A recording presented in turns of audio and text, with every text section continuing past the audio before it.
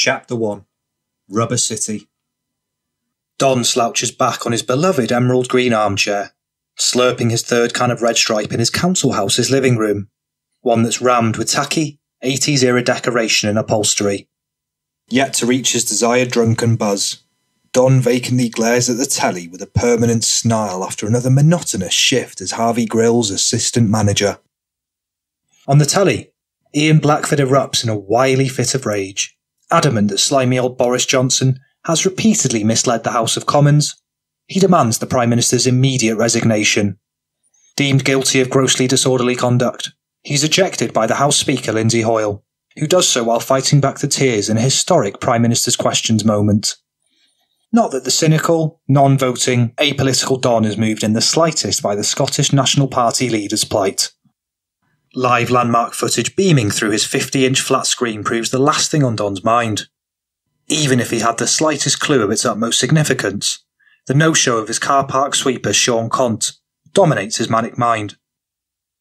Don usually has no issue turning a blind eye to the odd MDMA come down sickie, safe in the knowledge that others will return the favour. This one's different, however, and has wound him up something rotten. With the place already short staffed today, Sean Sicky forced on into sending his stunning waitress out on car park duty, leaving him, as the senior member of staff, to begrudgingly prance around, waiting on tables himself for his first time on the dreaded restaurant floor in six months. No doubt Sean Cont will be recommended for the sack during his upcoming annual performance review as revenge for the traumatic inconvenience. This is far from the only contributing factor to Don's bitter inner misery. For the first eight years of his Harvey's tenure, he strictly forbade himself from gorging on their customary free staff meals. However, he struggled to resist such temptation as of late. Historically an athletic guy, a former county level rugby player, gym rat, an habitual protein shake guzzler, he now finds himself piling on the pounds and deeply ashamed of his weight for the first time. As a result, Don's classic house outfit consisting of a tight bowl neck vest is starting to embarrass him. He glances down at his bulging belly and sighs. No longer can he deny becoming one of the lard ass, grisly ex sportsmen he's always loathed and secretly mocked as an adolescent. He rapidly snaps himself out of the daze, utterly petrified of being caught off guard in a moment of pitiful self loathing. Food's nearly ready. Don's wife, Sigrid, shouts from the back room, without so much as a glance to ensure the accuracy of her statement. Don scowls and rubs his dark, wavy, curtained hair. Oh, it's not though, is it? Slug at the wheel, he restlessly yells. Tired of squandering between 10 and 20 daily minutes of precious leisure time languishing at the table waiting, Don doesn't fall for the bait and switches over to BBC One Wales. A news piece plays on the local food bank, where a bustling queue bellows out of Bangor's Gothic cathedral Seldom do they do anything in Bangor, and Don's patriotic pride has him firmly on the edge of his seat. Tragedy actually is a more fitting word. There's so many in a traditional, proud area, full of grafters who've dedicated their existence to pay taxes into a government we still have to be reliant on for the basics of life. Anyone with half a noggin won't be bringing children into this an out and out North Walian old man Gwyndaf passionately declares in a TV interview. Don nods, failing for a second to link his staunch social media wide support of reducing the universal credit allowance and the consequential reality of old Gwyndaf's austerity. A sudden empathetic outrage surges within him, but so alien is such compassion that he brushes it off, unable to identify with the uncomfortable phenomenon. Suddenly, Don spots his stepson Chrissy Bray's distinct, long, thick black shaved sides mullet hair blowing lightly in the wind behind the interview. A gaunt, denim dungaree wearing old man Howell stands nattering alongside him, squinting his eyes as Chrissy's thin, black leather jacket beams the piercing sun's light into his alcohol and tobacco induced wrinkly face. No way! It's Chrissy! Don manically shouts. Sigrid hurtles over with a grin as mischievous as the vast array of colours on her treasured dress one of the last clothing stragglers from her adolescent hippie days, a phase that faded due to the malleability of her beliefs and character, depending on her perpetually interchanging in a circle. When it came to Don, she knew portraying the straight shooting, subservient wife she could instantly sniff he deeply desired would win his approval. Despite some initial teething problems during her transition into the role, She did enough to swipe Don's glittery, MDMA fueled affection on their first meeting under Copperfest Festival's hardstyle tent seven years ago. As she cottons on to the location of her eldest son's accidental TV appearance, her glee rapidly evaporates. Don cackles. Dickhead. What's he doing there, man? Don's buzz haircut, nine year old son Gav scampers over with a smirk as smug as his entitled personality. Wanting in on the family glee, Chrissy's darkly dressed, 12 year old half brother Sid trudges over. Before catching a sneaky glimpse of the big screen from a safe distance, Don swivels around and glares at him. That stir fry's Rubber City again, and you're paying for the takeaway. And it will not be a stingy one. Don bitterly warns. Sid rustles his blonde streaked dark hair, the very first haircut his painfully controlling mother's let him pick, before huffing his way back towards the kitchen. Don's disdain for Sid is no secret, with a rigid lad's lad perception of how people should look. Sporting what Don deems a feminine haircut has only sunk Sid to new lows in his estimation. Look at matey there. Don points at Hoel's eccentric outfit with a censorious grimace. A proper weirdo. Gav remarks. What's he fucking doing with him? Don holds out his hands in histrionic bewilderment. Maybe he's a gay boy now, yeah, Dad? Gav says after a moment of deep consideration, mustering every ounce of his four years of playground logic at a chronically discriminatory public school. Might be onto some in there, Gav.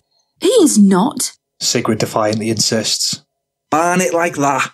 You just never know.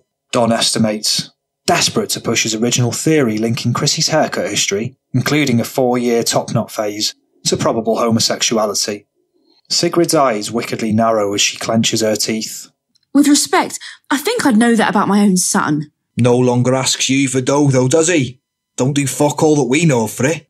Blokes like that, they'll give him, I reckon. Don strokes his chin as the sums whittle through his thick skull. Quarter of their food bank for the blowy.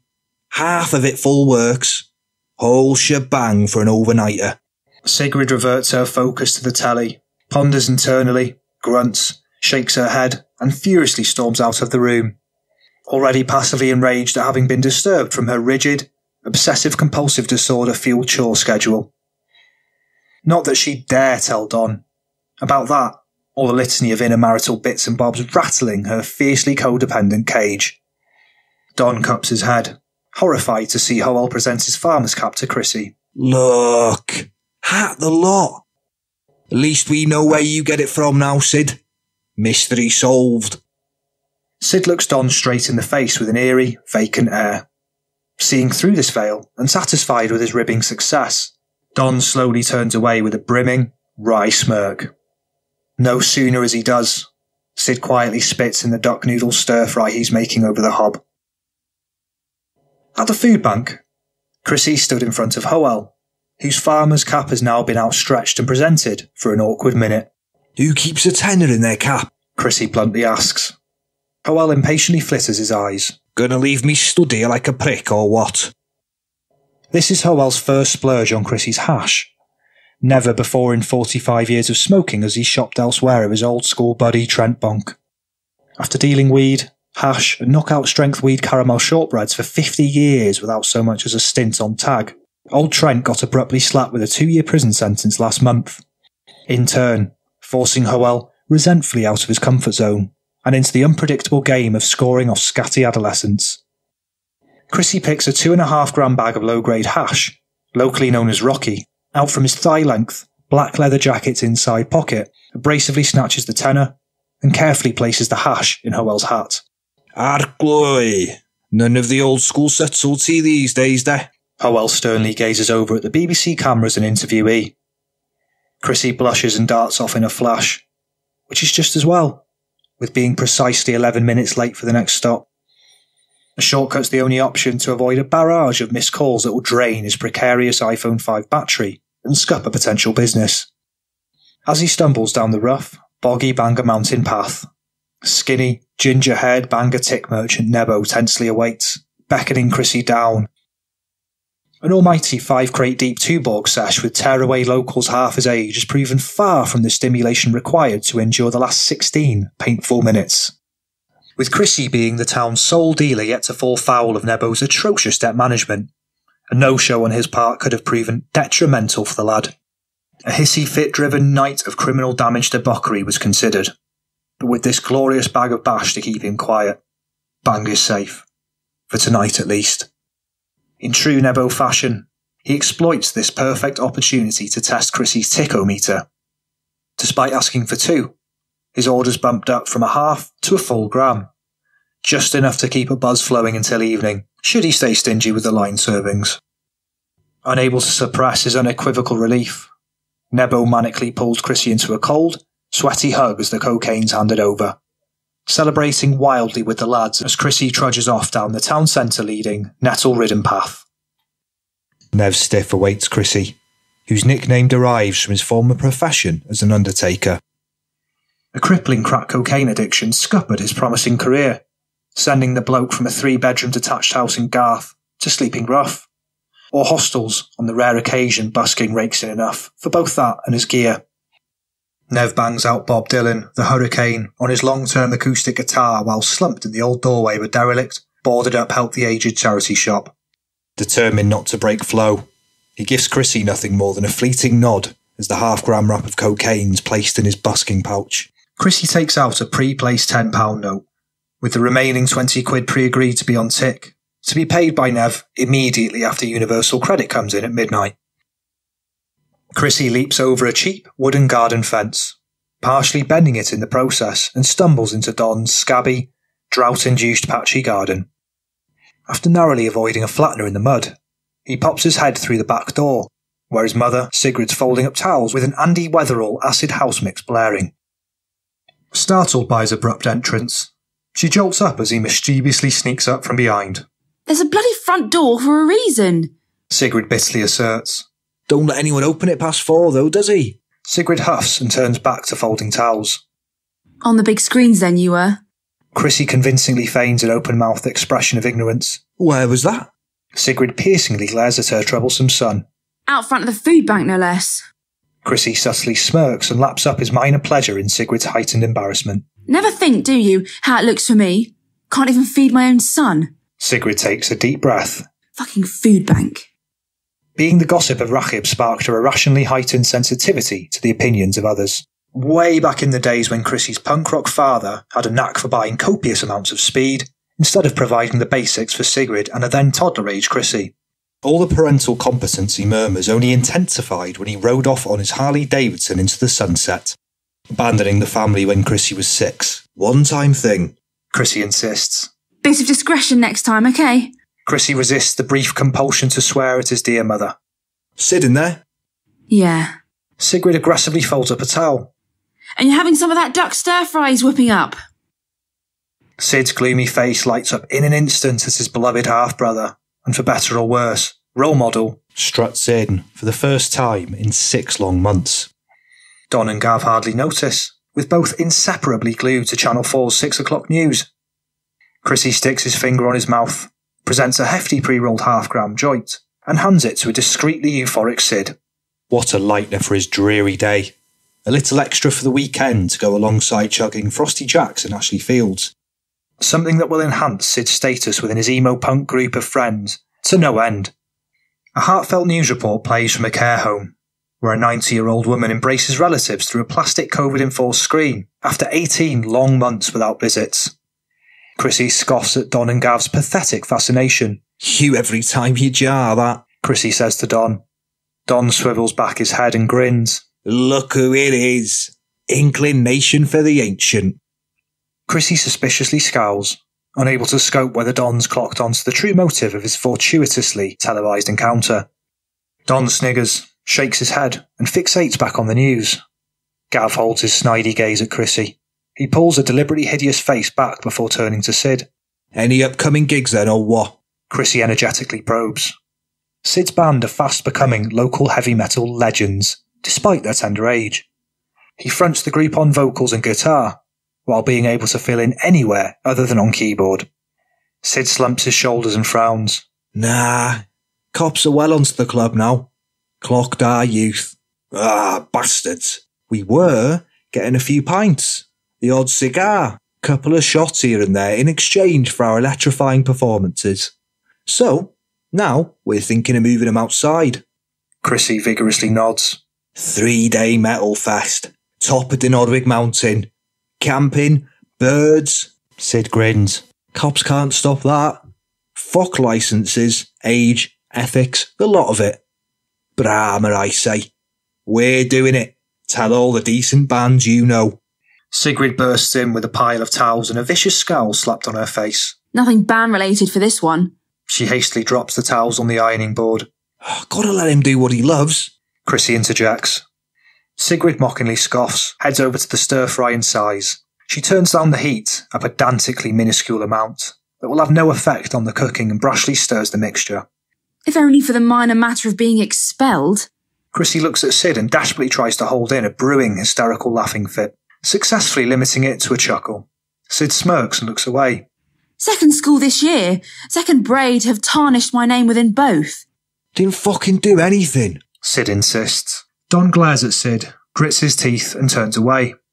No doubt already plotting imminent passive punishment. Get a slap the next time you use that word with me again. Well, I didn't. They wanted me out from day one.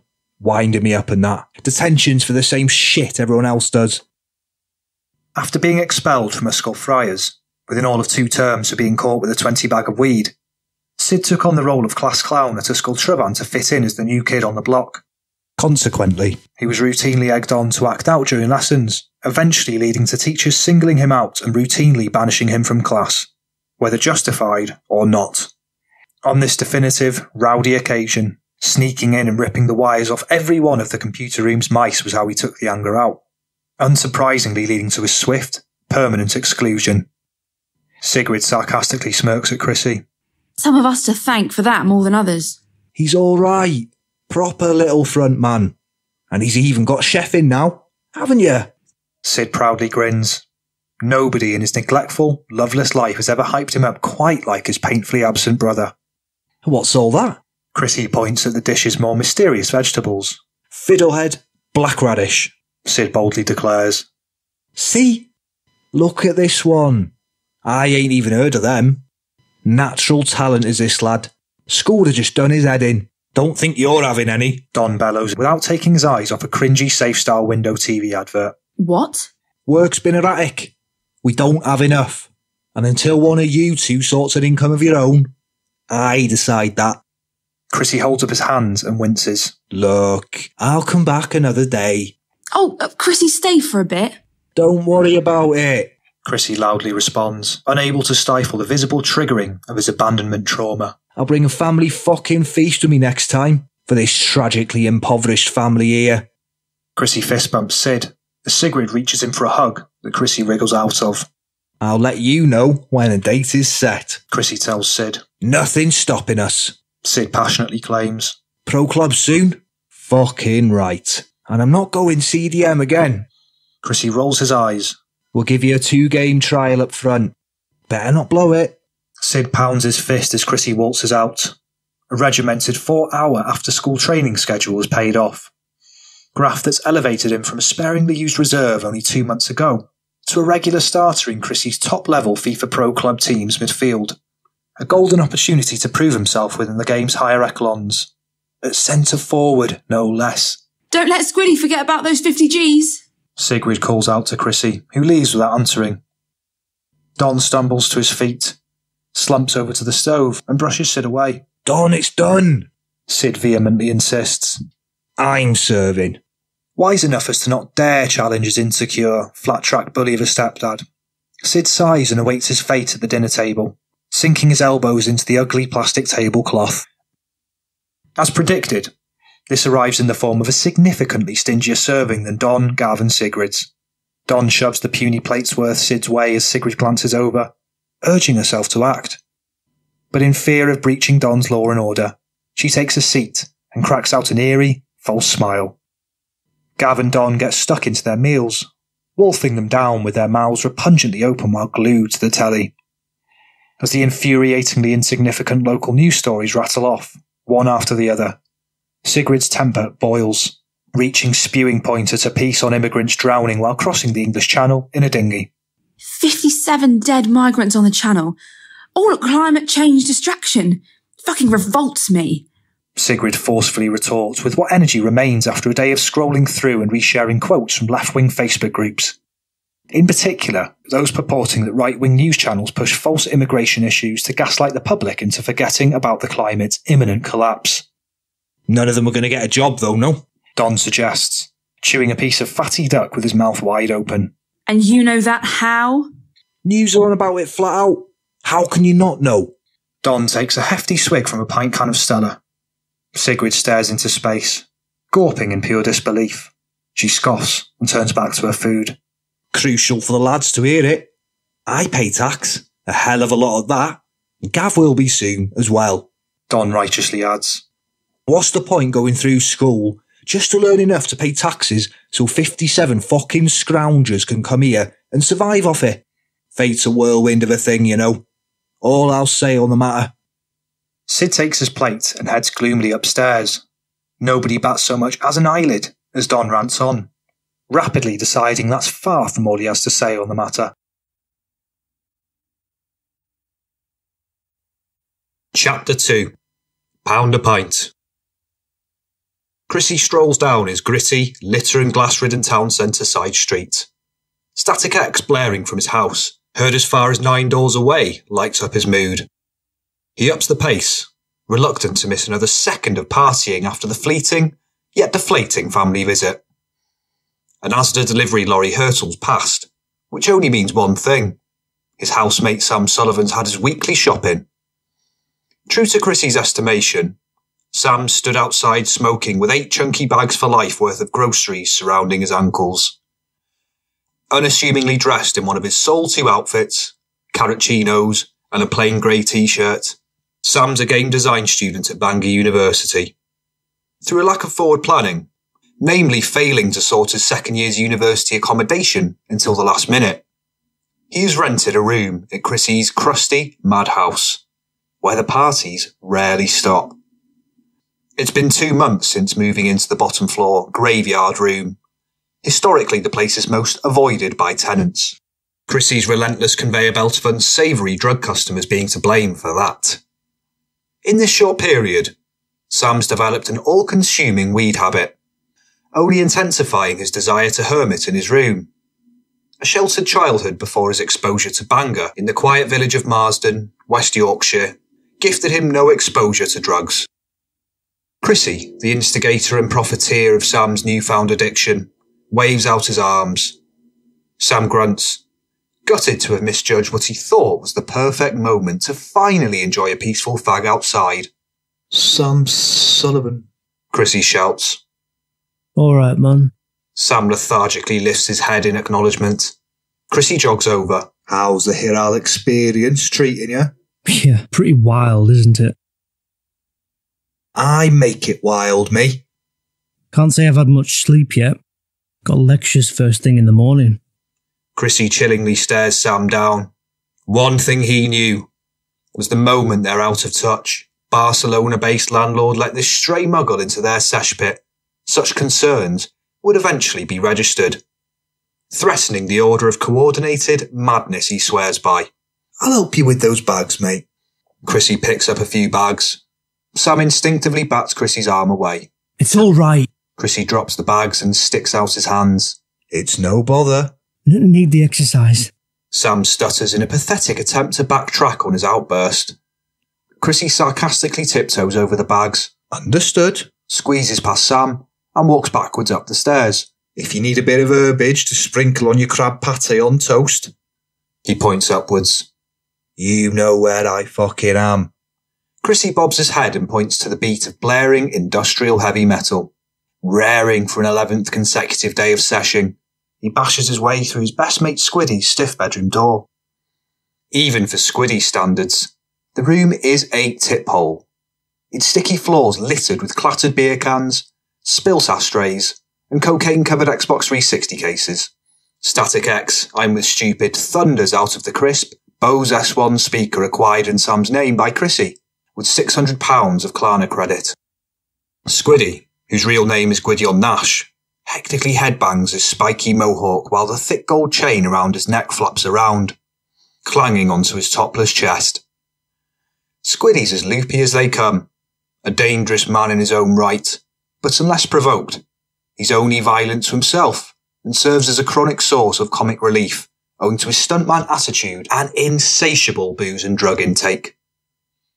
It's been 10 years since he and Chrissy moved into this grubby dwelling, with both having been similarly ousted from their family homes aged 16. During the time since, both have made a cushy living from selling cocaine, weed, ketamine, and Valium. Their house's reputation among the plethora of local addicts, young and old, as a walk-in sesh pit and gear emporium ensures a constant flow of customers through word of mouth. Those without anywhere to party, that live with strict parents or are homeless, have long craved a piece of the place's merciless sash life, despite its reputation as a filthy, mouldy shithole. That is until recently, when a heroin overdose on their living room floor in front of 15 regulars permanently scared most away. Only the gnarliest kept coming back such as their collectively acquired walk-in clientele, that for three years before the overdose, they never once had to resort to leaving the house to deal. Stood alongside Squiddy is Mikey, who's chugging Carlsberg out of a two-litre stein glass while pounding his lanky arm upwards, spilling beer down his bashed-up blue Berghaus mountaineering jacket and the unsightly, stain-ridden brown carpet. Mikey's the group's old head at 30, and likes to think he nurtured Chrissy and Squiddy as drinkers from the age of 13, way back when they first met at the legendary, late noughties, goth predominant Uni Gardens drinking sessions. After being thrown out of multiple council flats for noise complaints, and with only sporadic freelance graphic design work as an income, Mikey's last six months have been restricted to crashing on the house's grubby living room floor.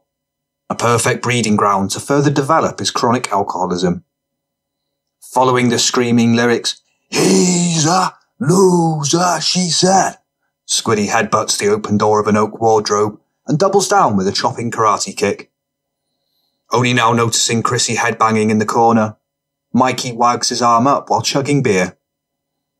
Squiddy glares emphatically at the wardrobe, headbanging with fierce gritted teeth. Chrissy perches his ass down at the desk and gets straight to work. A busy night lies in store down at the Skeddy's Pound a Pint. This time he won't be underprepared for the demand. So 30 0.55 gram sized bags of cocaine are swiftly whipped up. All of which will be sold as grams for 80 quid. Sam painfully struggles and optimistically lugging all eight shopping bags at once, the few steps to his bedroom. A shoulder barge wedges open the door. He tries to shimmy through, but an ill-fitting fridge freezer in the corner obstructs the door's wingspan, leaving him wedged with the shopping bags in between the door. Music upstairs doubles in volume as the three stomp their feet, rattling Sam's roof. He sighs and shoves the bags painstakingly one by one through the gap, before clambering over the fridge freezer and into his shoddy, patchily painted student room a decorative decision by the rogue landlord in part down to obstructing the emergence of thick black mould gathering in the walls, giving him an extra few months until it pokes through and he faces inevitable complaints. A majority of Chrissy's customers resort to slapping Sam's window should the front door not be answered, in an instant. So not only has Sam drawn the short straw with his room, but he's become the landlord's little bitch and all. Being Barcelona based, when any issues arise with the house, any inspectors or builders need letting in, the responsibility falls on Sam. This was a contributing factor as to why Sam was picked as the tenant. The landlord scoped him right out for the polite, people-pleasing hermit that he is. Such is the landlord's ignorance of the place's shenanigans. Mikey's pitiful, illegal existence on the living room floor has yet to be questioned.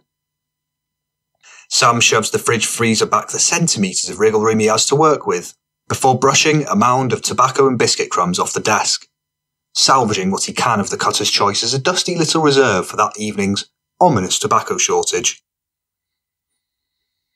Such is Sam's anxiety around utilising the kitchen's greasy communal oven and surfaces. He keeps a mini hob in his room and makes everything in there.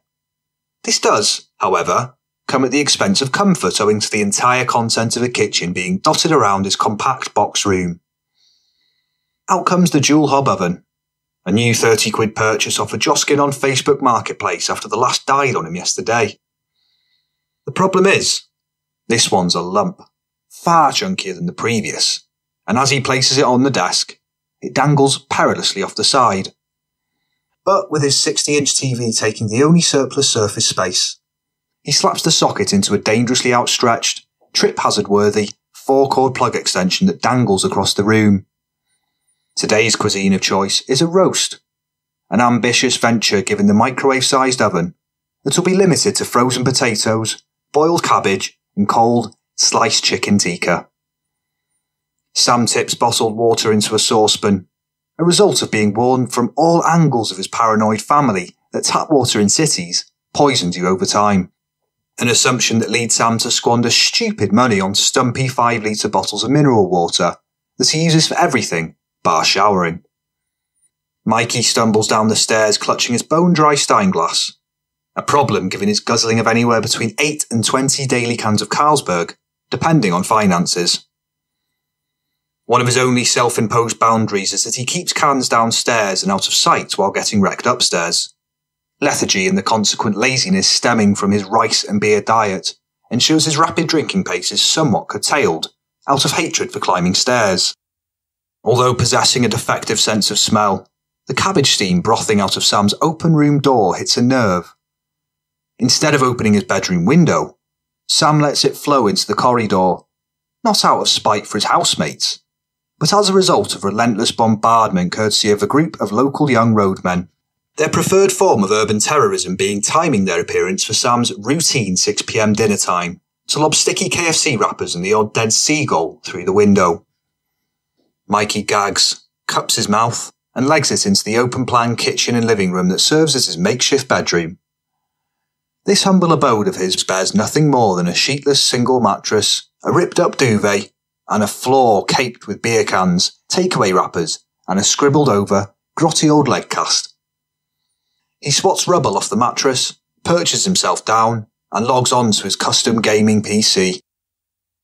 Considering it's without question the most cherished of his belongings, the monitor's treacherously balanced on an upside down green as the shopping basket, with the hard drive wired up through a gap in the plastic. First on the job list is a quick peek on Fiverr, the online platform where he offers graphic design services, to withdraw a tenner for an after party crate. Only that won't be possible. He yelps at an email outlining the terms of a two week site wide ban, freezing his Fiverr wallet as a result. Urging a picky client who sent a fifth order revision request to leap off Menai Bridge is given as the reason, an event that had passed him by until now. A club bouncer's spinning back fist punch and the subsequent concussion on Squiddy's gnarly 26th birthday pub crawl saw to that.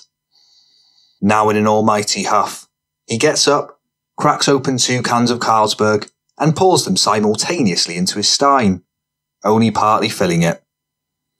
Mikey chugs the frothy lager, but with Sam's cabbage stench marring his pleasure of the bitter taste, he storms out into the corridor and slams Sam's door shut.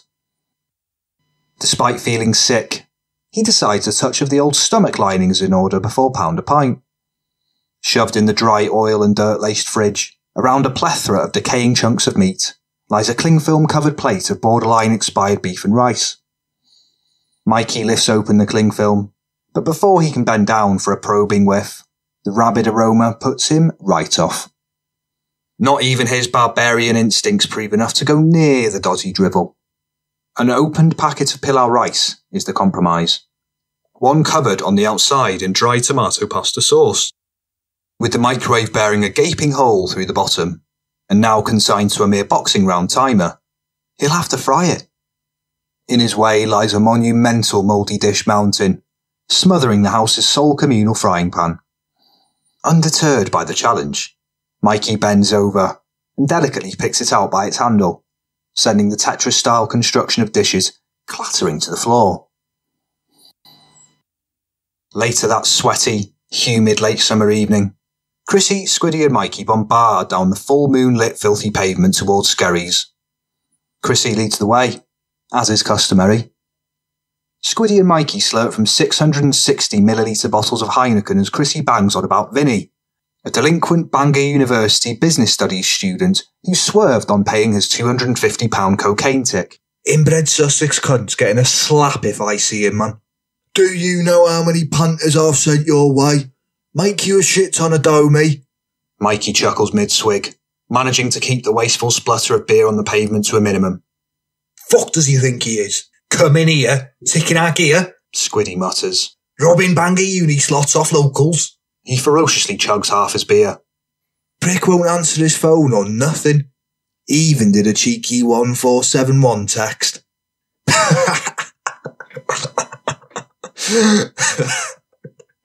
Telling the rat his sister had fucking croaked, man. Cat OD. Squiddy's face tightens. Still didn't answer. Chrissy shakes his head and snatches Mikey's beer for a swig. Fuck! Squiddy lobs his empty beer bottle at a wall. Just for that, I'll twat him on for you. He yanks a bottle of stumpy brassiere beer from his pocket and smashes the tip on the wall. It cracks, but remains safe to drink held at a distance from his mouth. We see him tonight. He chugs the beer, mostly missing his mouth and soaking his scraggly four-day stubble. Nah, nah, it's sweet. Squiddy wags his finger while pouring the last of the lager down his throat. It's sweet. Because now I just bag him up that MXE shite and he's all over it, mate. Chrissy buoyantly brags. Decent. Squiddy approvingly nods, with his faith in drug dealing justice somewhat restored for now. Pah! Some dark noise that MXE is.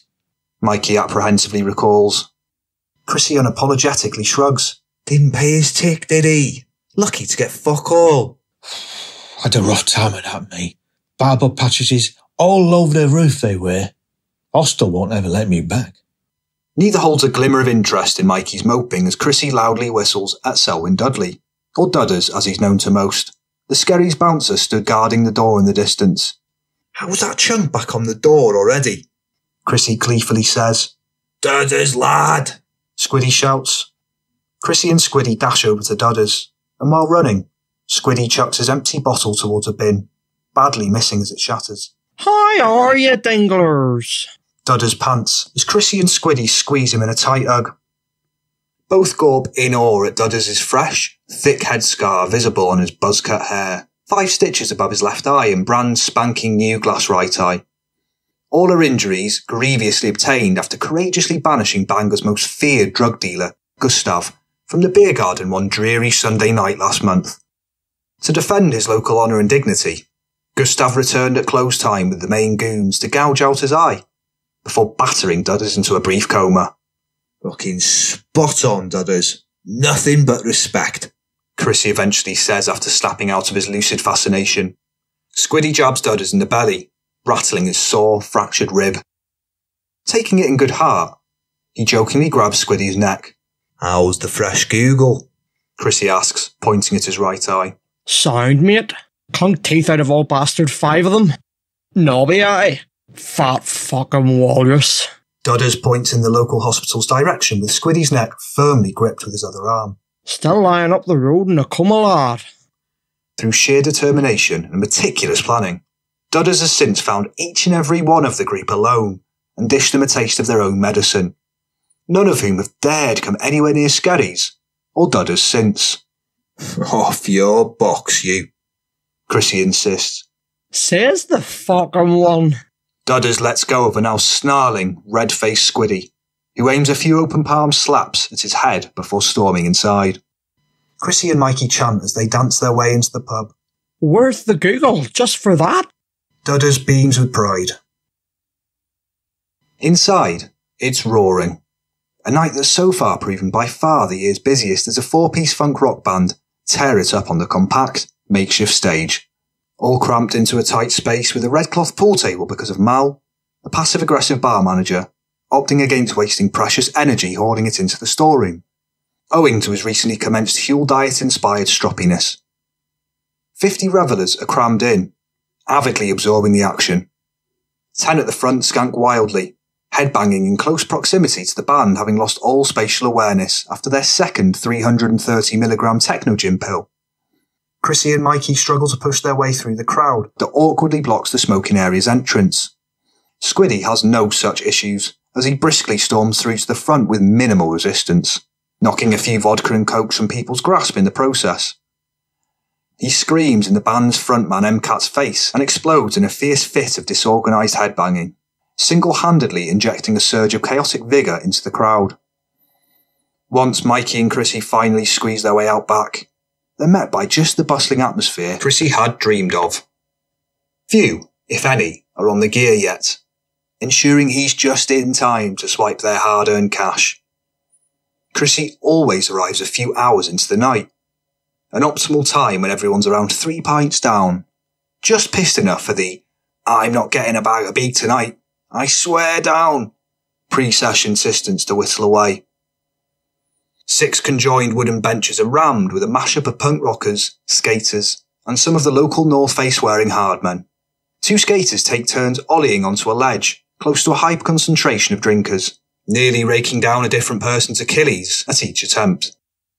Before getting the chance to gather their bearings, Chrissy and Mikey are swamped by Gittor Ap Sean, an innocuous, wannabe drug dealer dressed in colourful skate-themed clothing as bright as his blonde curly hair.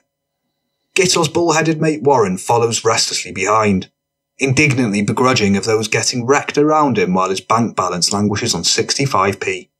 The legend himself. Gittor warmly says. Chrissy rolls his eyes and feigns a glancing smile, focusing primarily on finding the optimal table to ensure he's in view of customers. Gittor and Warren closely follow. Good to see you here, mate. Gittor hesitantly adds. Who even are you? Chrissy asks. Gittor's lower lip drops.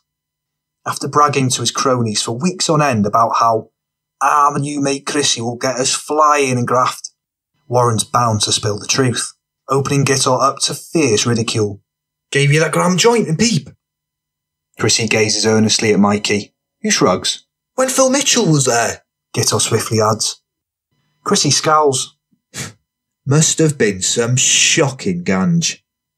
Chrissy heads for a newly emptied table in prime attention seeking position. When can I get a Henry till, lad? Warren abruptly asks. Thirty quid's worth on tick is a steep ask for someone you've never spoken to. Especially for a grubby little oik like Warren. On a table in the distance, Chrissy's heavily made up ex-girlfriend Trin grimaces at his mere presence. A brief six-month teenage fling ended once he spiked Trin's drink in revenge for her flat-out sexual abstinence during her period. Chrissy's sturdy, scam merchant, wholesale drug dealer Ben prepares a joint next to her, with all paraphernalia brazenly on show. Ben and Trin met on Tinder, and are out publicly together for the first time. And what do you baiters plan on doing if that lack of subtlety gets me sent right fucking down one day? Eh? No other cunt will ever shot to you. Chrissy holds out his hands. A perfect little bit of insight into why. Gittor and Warren sink their heads down in shame. Two underage lads sat opposite Trin and Ben spot Chrissy. They hesitate, gaze anxiously at one another before slapping on their blue flat caps and tentatively join Bangor's number one small bag cocaine and ketamine dealer's orderly queue. Ben smirks and victoriously leans back, wallowing in the night's solid start to proceedings. Chrissy Bray, biggest worm of this land. Trin bitterly remarks. Brahma lad him. Sexual deviant creep like that. A fucking Brahma lad. Ben shrugs while tucking his joint, and Trin turns away in a strop. Chrissy tends for a heavy hand with the ladies. While he's somewhat curtailed this as of late, it's a propensity that in his late teens left him on the brink of a six-month juvenile custodial sentence. Only glowing references from his mother, who at the time was a teaching assistant, got him off the hook. Shouldn't be walking the earth. Trin mutters. People change though. Can't hold what he did in school against him forever, no? Chrissy creepily gazes over before blowing Trin a kiss. That's it. She stands up and subtly draws a small blade from her pocket. Hidden by her coat, it's just visible enough for him to catch the glint of a bright lamp beaming off the metal. If you know what's good for you. Ben looks up in awe. Nothing on Trin's Tinder profile suggested future enforcer material in the slightest. Now he knows he's scored a keeper here. Both an outrageous shag and cheap, capable labour in one. He giggles, delighted with this promising new development and the night's entertainment. Chrissy looks away. He'll think twice about doing that again. Showing weakness in front of Ben surely added a few bob onto future ounce prices. At the bar, Squiddy giddily hoists up a tray of five Stein-sized beers with every facet of his brute strength. As he reaches the crowd's rear, the band's stocky, long-haired bassist Estelle peers over, desperate for a lager after 35 dry minutes. But he'll have to do with a 15th pipe hit of the band's 10-minute break for now, with Warren stood firmly in Squiddy's way. I'll trample you, Squiddy warns. Warren glances back, scoffs and stands his ground before Squiddy stomps on his foot and bullishly grunts. Gitto's heard that unquestionable final warning before, and he warily drags Warren out of harm's way. Others in front take note and unanimously clear Squiddy's path ahead to the band. Everyone give it up for the barbaric Squiddy Nash, MCAT bellows over the mic. Squiddy plonks down the tray of beer, and the band members gleefully grab a stein each, slurping down some essential Carlsberg jet fuel to get through the gig. He shits all over the lot of you. Any of you young lads thought you were all that? Proper rocker? Well, you were fucking way off. The benchmark stands among us. MCAT points to a small group of colourful punk women. Some of you ladies, you're getting there. He gives the band a silent one, two, three signal. Not a million miles off. MCAT erupts as the band embarks on their heaviest song. Squiddy leaps forward, tears a curtain off the wall, and lobs it into the feisty emerging mosh pit. Squiddy gets stuck in, shoulder barging a couple of teenage, out of their depth posers flat on their arses. Skerries is David Merrin's first stop after an exhausting escape on foot from Llanfairfechan's Bryn Neuadd Psychiatric Hospital, where he's been sectioned for the last six months. A wild night's in order before his inevitable capture and return by tomorrow noon at latest. His gangly six foot six frame ensures he's always caught. Moved by the roar of Inside's music, David manically bobs up and down in the middle of Chrissy's seven man cocaine and ketamine queue. Rock and roll, there boy, he slurs. Gitto and Warren cup their mouths, aching to laugh. David breaks out a drum and bass version of Peter Crouch's robot dance on the spot, building up the intensity before stopping to bend down and speak in Chrissy's ear. These definitely bang on cramps now, yeah? Chrissy sighs and dangles a bag of ketamine behind his back, rudely skipping Warren and Gitto out of the queue. David hands over £30, stuffs his key into the bag, and shovels a hefty chunk sideways up his ooter. Before getting to snort it, he's overcome by an impromptu sneezing fit, with the consequent gust wafting the precious first taster off the key and onto the floor. Warren and Gitto can't help but howl at his expense. Undeterred after a life as the ridiculed outcast, David wobbles over to three dancing lads stood by the place's trademark 40 foot high flagpole. In true primary school disco style, he jumps up with raised hands, which takes the dancing lads out of their smooth stride. Spotting Sam in the corner, David's attention flickers to an empty wooden bench next to where he's gloomily sipping a cider and black, all on his little lonesome having been stood up by his plastic university mates. David flips the bench over, and with seconds to avoid a painful crush, Sam halts its fall, struggles to uphold the weight and drops it, flicking his feet away from fractures galore as it crashes to the ground. Grasping the severity of his reckless actions, David sprints away, chased off by the bar's snarling landlady. Sam clenches his fists, roars, chugs his full pint, and bolts off with his rucksack out of the back gate. A few hours later, with the beak and ketamine flying around, it's time for every Skerry's regular's highlight of the night. On every pound a pint, at least one brave warrior takes a stab at the legendary North Wales Challenge, holding their grip on top of the place's 40 foot high flagpole as it's vigorously shaken. Some say Clive Allen's 9 minutes 40 seconds at the summit is unassailable, but not Mikey, who's stepping up to the plate tonight with that record firmly in his sight. Stood at the bottom with closed eyes, he takes in deep breaths as the crowd awaits intense silence. One last stretch of his shoulders, and he doggedly jumps onto the pole, shimmying up to the top within 20 seconds. After poking one hand out to signal he's ready, Squiddy starts his waterproof wristwatch's stopwatch timer and violently shakes the pole. For the crowd's entertainment, Mikey momentarily dangles off, pretending he's scared. But a minor slip snaps the drip out of any theatrics, and he quickly clutches the pole for dear life. John bolts and Zack cracks square over. Both hench, six foot plus, mean, rough looking brutes sporting full black and white Adidas tracksuits. They barge through the crowd and endeavour to wrestle Squiddy away from the pole. I'll give him a fucking challenge, lad. John insists. Squiddy single handedly blocks their path to the pole. Swear down. Let us through or I'll fucking bottle you. Zack viciously warns. Squiddy's eyes fire up. He whistles Chrissy over and points to the pole. Relishing the challenge, Chrissy waltzes over and shudders the gangly thing. Squiddy glares into the pit of Zack's soul and hands him a glass bottle.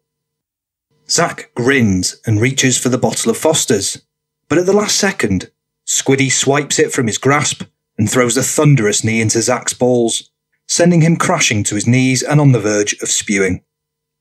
As John steps forward for a spot of revenge, Squiddy bottles himself to a collective gasp from the crowd. Blood pours down his forehead as he holds the jagged bottle diagonally towards John, slowly edging towards him. Jasmine Price gawps in a fit of awe at Squiddy from a nearby table. Despite being 17 and underage to drink, she's one of Bangor drinking scene's stalwarts and has just spent the afternoon in court, accused of booting the wing mirrors off three cars. Never did she imagine quite how this thrilling evening would make up for the day's utter boredom. As John steps backwards away from Squiddy, she dangles out a leg, tripping him into a bush to a raucous collective roar of jeers.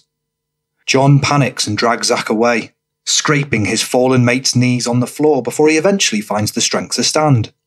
I bottle my fucking self. Squiddy shouts. As they scuttle off, Squiddy launches the bottle, and it shatters above the cowering, self proclaimed hard men's heads, showering them in fragments of glass. Mikey abseils down the pole as Chrissy continues to shake it. Fifteen foot from the floor, he loses grip and flops onto a wooden bench. Dirty cooking utensils obscure the bottom corner of Sam's telly. E4 IT crowd repeats have played for five hours straight while he's failed to doze off until minutes ago. Not helped in his quest for sleep by progressively dull hunger pains after barely touching his dry dinner that sits on the desk, gathering fruit flies. An unlit joint dangles cherry side up out of an ashtray on the bed. One toss or turn will surely capsize the brimming ash mountain onto his fresh bed sheets. Uncovered by the duvet and in full clothing, Sam lies face up, quietly snoring with an open mouth.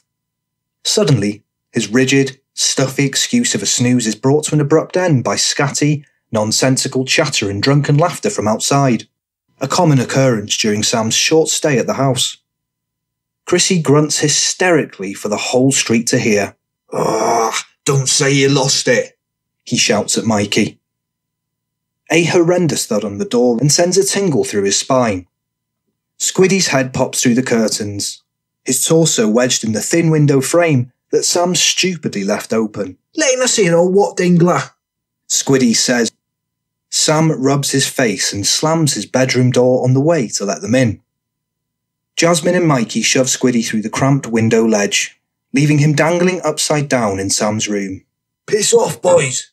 Jasmine slickly evades Squiddy's downward kick aimed for Mikey's head, the momentum of which takes him through the window, and he plonks headfirst onto Sam's bed. Chrissy bursts through the door and lightly slaps Sam on each cheek as he barges past. Cheers, Squire. Mikey, Jasmine, MCAT, Estelle, and the band's pink and black haired guitarist Fryer blitz past Sam, knocking him on his backside. Sam storms back to his bedroom door, only to be met by Squiddy shoving past, holding up Sam's packet of raw king skins. Won't use 'em all. Squiddy insists. Everyone heads straight through into Mikey's bedroom, where he's busy scrubbing five plates, as many as he's washed in a month, to do lines off with everyone eager to unleash their fresh gram bags. All other than Jasmine, that is, who as usual is on the scav. On this occasion, her main target is Chrissy, who she's worked on all night, throwing out all the fake flirtation she can stomach to ensure the free lines flow her way. After only half an hour, she simply can't bear another second of it.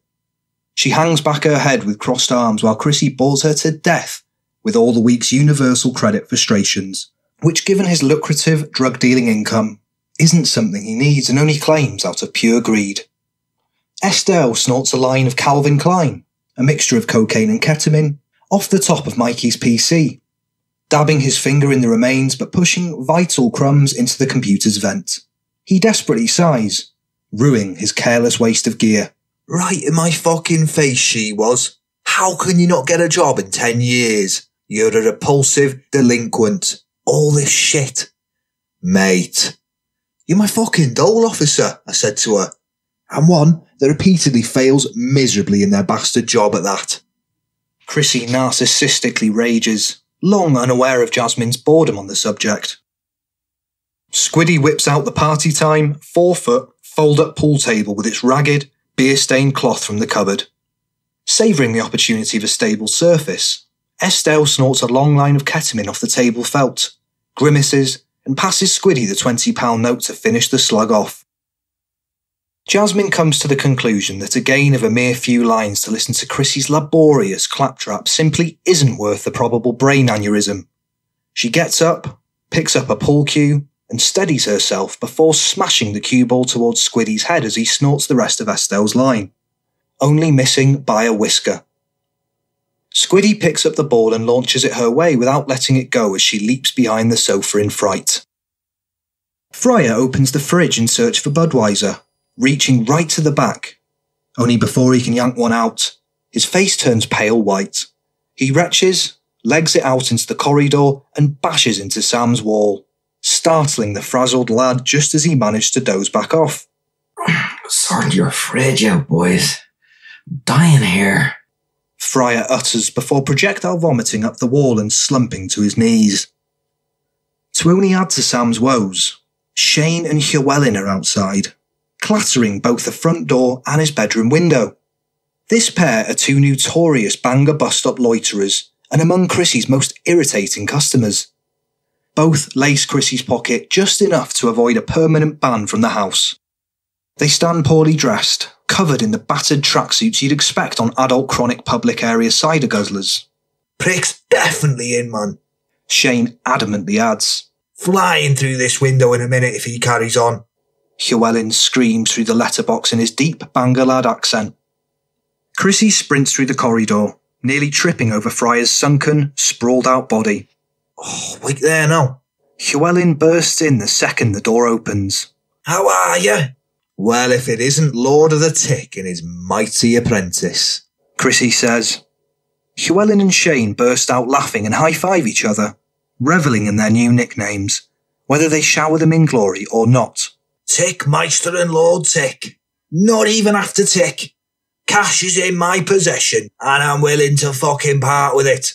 Llewellyn forcefully declares. Do you do point fives a green, lad?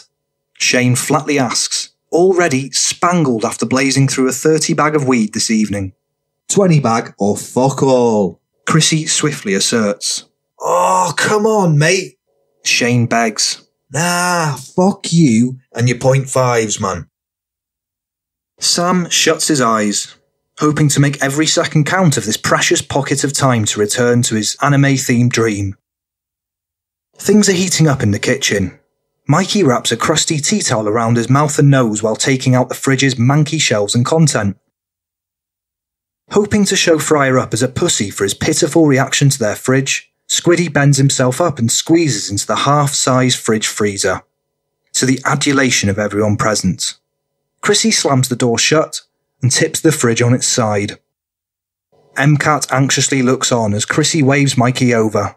They grab a side each, hoist the fridge up, and shake the thing until Squiddy falls out and thuds to the floor. Squiddy gets straight back up and swings a flying uppercut Mikey's way that he shimmies backwards to avoid, sending him crashing into the pile of dishes. A ferocious bout of kitchen boxing ensues, as is the Sesh House's tradition at any sniff of an opportunity. After not making it to bed, Squiddy and Mikey lie face down that next morning, asleep on the kitchen floor as the stuffy sun rays beam down on Squiddy's face through the window, only adding to the bitter dehydration that awaits his hazy eventual awakening. Squiddy's topless with Jasmine's t-shirt wrapped around his head, nicked as a rag to stem the bleeding heavily prevalent by their tenth or so round of brutal kitchen boxing. Empty cans, puke, blood, and fag dimps litter the place, and an open bottle of whiskey lies on its side next to Squiddy, tactically left with a swig worth for morning. Next to Mikey's hand is the oven door, splattered in dried blood after being torn off and utilised during one of last night's rougher rounds of sparring. Chrissy wobbles in wearing nothing but boxers with a mighty skip in his stride. Jasmine sullenly settled for him after gathering the others present were low on gear, and that her plan A, Squiddy, couldn't prise himself away from kitchen boxing, not even to give her one. Luckily for her, Chrissy didn't last long. 110 seconds to be exact. A small price in her eyes for securing the rest of the night's coke and ketamine buzz. Chrissy stumbles over Mikey's outstretched leg and gazes down in astonishment. A damp bag of ketamine on the floor perilously near a spilt beer swipes his attention. He dashes over and urgently yanks it from harm's way, but can't stand its defective, damp sight and throws it down on a dusty nearby surface. Hacked off by this disappointing early afternoon start, he tips a few frozen sausages onto a crusty baking tray. Jasmine bursts in nude from the waist up and frantically searches the room. Oi, oi, you slag. Chrissy eerily remarks. Seen my top or what? It doesn't take Jasmine long to find it. She storms over and boots Squiddy in the ribs, garnering nothing more than a burp as he stays asleep. Cunt, man. Jasmine rips the top off Squiddy's head. Bloodstain the lot. She spits on Squiddy's neck and throws on her Henley's top. But in a bump, we'll sort you right out. Chrissy giddily shakes the damp bag of ketamine. Not of that shite, it won't. Be a drip for parole. Jasmine checks her phone for the time and grimaces. A mere ten minutes is all that's spare. A potentially catastrophic mismanagement of time, given her court imposed anger management sessions, which are mandatory after twice being convicted of grievous bodily harm this year. That I'm going to be fucking late for. Will we be seeing you next time then? Get Getting some better Kenny than that, and you just might. Jasmine says before slamming the front door behind her. This brings an end to Sam's three hour kip. Deeply pale faced, he jolts up, checks his phone, and flicks off his soon upcoming, preset 8.30am alarm, concluding there and then that lugging it up to lectures is simply off the cards. With a bruised shoulder from last night, he turns on his stomach and closes his eyes. Only seconds later, heavy knocking and shouting bellows from the front door where yet again it's Llewellyn and Shane. Freshly banished from the bus stops by patrolling PCSO officers, they're back for some Kenny to get right on it down at the halfway house. A meticulously planned all dayer is in order to celebrate the release of their old mate Franny Harps from HMP Berwyn. Open up or I'll fucking swat you, mum. Llewellyn shouts through the letterbox. You'd gotten tick earlier. None of this would be happening. Shane pretentiously points out. As Chrissy passes, Sam yelps, heard clearly through the walls. Chrissy scoffs and opens the door for the bulging eye wreckheads. Dingler D and Dingler Dum, man. Chrissy rolls his eyes. Bangor bus stop's finest are back. Shane proudly declares. Lord of the Tick is no more, lad. Two out of fucking two. Llewellyn brazenly waves a tenner Chrissy's way. Chrissy anxiously ushers the drips in and leads them to the kitchen. Unprecedented times for Lord Llewellyn Tick Jones. Gold mine peep entrances are closed, lad. Two Hmong students, I coughed up ten bar for two fucking skimpy little gold leaf rollies. Llewellyn snapped out of his entrepreneurial bravado by the grisly sight of a bloodied Mikey and Squiddy sprawled out on the floor. Midsomer murders in here, man. Don't let me get back on the tick list. Chrissy shrugs and throws the damp bag of ketamine at Shane. A drop of beer flies off it in midair. Shane catches the bag and closely examines its generous quantity for the price. Bus stops won't know what's in 'em. He and Llewellyn scurry out of the house with blissful anticipation for the wobbly day ahead. Sam's measly 25% university attendance ensures his first tutorial of the year is mandatory. To make abundantly sure of his presence, he stays up all night, ploughing through two entire seasons of Big Bang Theory to help. After two stints of lightheadedness while conquering a nasty hill leading up to the university's main arts building, nicknamed Hogwarts for its ancient mystical design, Sam's horrified to find out his tutorials in a room chock a block with lecturers typing away. His burnt out, Oxford graduate, upper class tutor Slinger swivels around in his chair with a dreary scowl, majestically not sweating buckets while wrapped in a thick purple scarf in the sticky, humid room. Sam reluctantly takes a seat. Your lack of application, Sam, it's gone on too long. Talk about good on paper but failing to deliver. This AI scripting paper from last year. Oh, I can't wait much longer for it. There's reasons. Slinger scoffs and shakes his head. What did you expect when I can't sleep to save my life? Sam protests. Yeah, yeah, party's in your house. You're in uni, and if you can't embrace it, fair enough. But you've had all summer to find somewhere decent, and you haven't, have you? Would have were my loan not six weeks late. Take some responsibility. There are hardship loans. Oh, yeah. All of a hundred quid to last me the month. Right. Bad habits will be your downfall. We've practically begged you to get counselling and you quit. How can we help you if you don't help yourself? All that medical professional knew was how to scribble out the prescriptions. He might as well prick me with a bit of scag himself. He's a qualified therapist. Not going near that thug again. Best one this uni's ever had. And you know better than him, do you? About giving adolescents with circumstantial depression caused by university induced poverty a benzo shaped gateway to shooting junk up Bangor Mountain just so they can get on with their essays? Yeah, can think of a fair few fucking better ways to help students, me. Get your head straight for this course, whatever it takes. Get a payday loan. Get it off your nan. Sell one of your little old Game Boys. Sam's heard enough.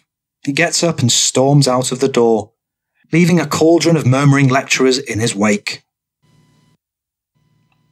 Yearning to keep his university hopes alive and avoid the turmoil of moving back in with his mentally abusive parents, Sam storms home and heads for a tentative word with Chrissy in the kitchen. Blood's always made him squeamish, and the dry cocaine nosebleed stains littering the lino creep him out. Session of the year. How are you, lad? Chrissy asks. Yeah, yeah, good, Chrissy. Not bad. Just wanna. Chrissy cracks open a can of tomato soup, turns around and holds it out, cutting Sam off. Soup? Nah, you're alright. Not a fan. Chrissy winces, unable to hide his overwhelming sense of rejection. He empties the can aggressively into an already boiling kettle. Good job I'm peckish. Sorry, mate. Look, I just wanted to have a word about the noise levels at night. Way ahead of you. It has been a mental few months. I know. And we were all actually just saying that last night between us. Sam's jaded eyes perk up. Yeah. Yeah, yeah, yeah. We're going to tone it down from now on, I think. With all the application we can muster. That's ever so considerate of you all. It's nearly job done in uni now. You have no time for me. Oh, yeah. Look, that's my number. You just text any time. Squiddy's on one. Whatever. Sam gratefully clutches the damp scrap of paper. I won't abuse this boundary. You have my word. Not only that, it's about time you had a gram of this ammo. Chrissy passes Sam a bag of weed, one of the ten underweight gram bags designated for noobs who are oblivious to the fact they're getting mugged off. On the house. For all the ag you claim to have endured. Just keeps me even in these harsh times. You sure I can have that?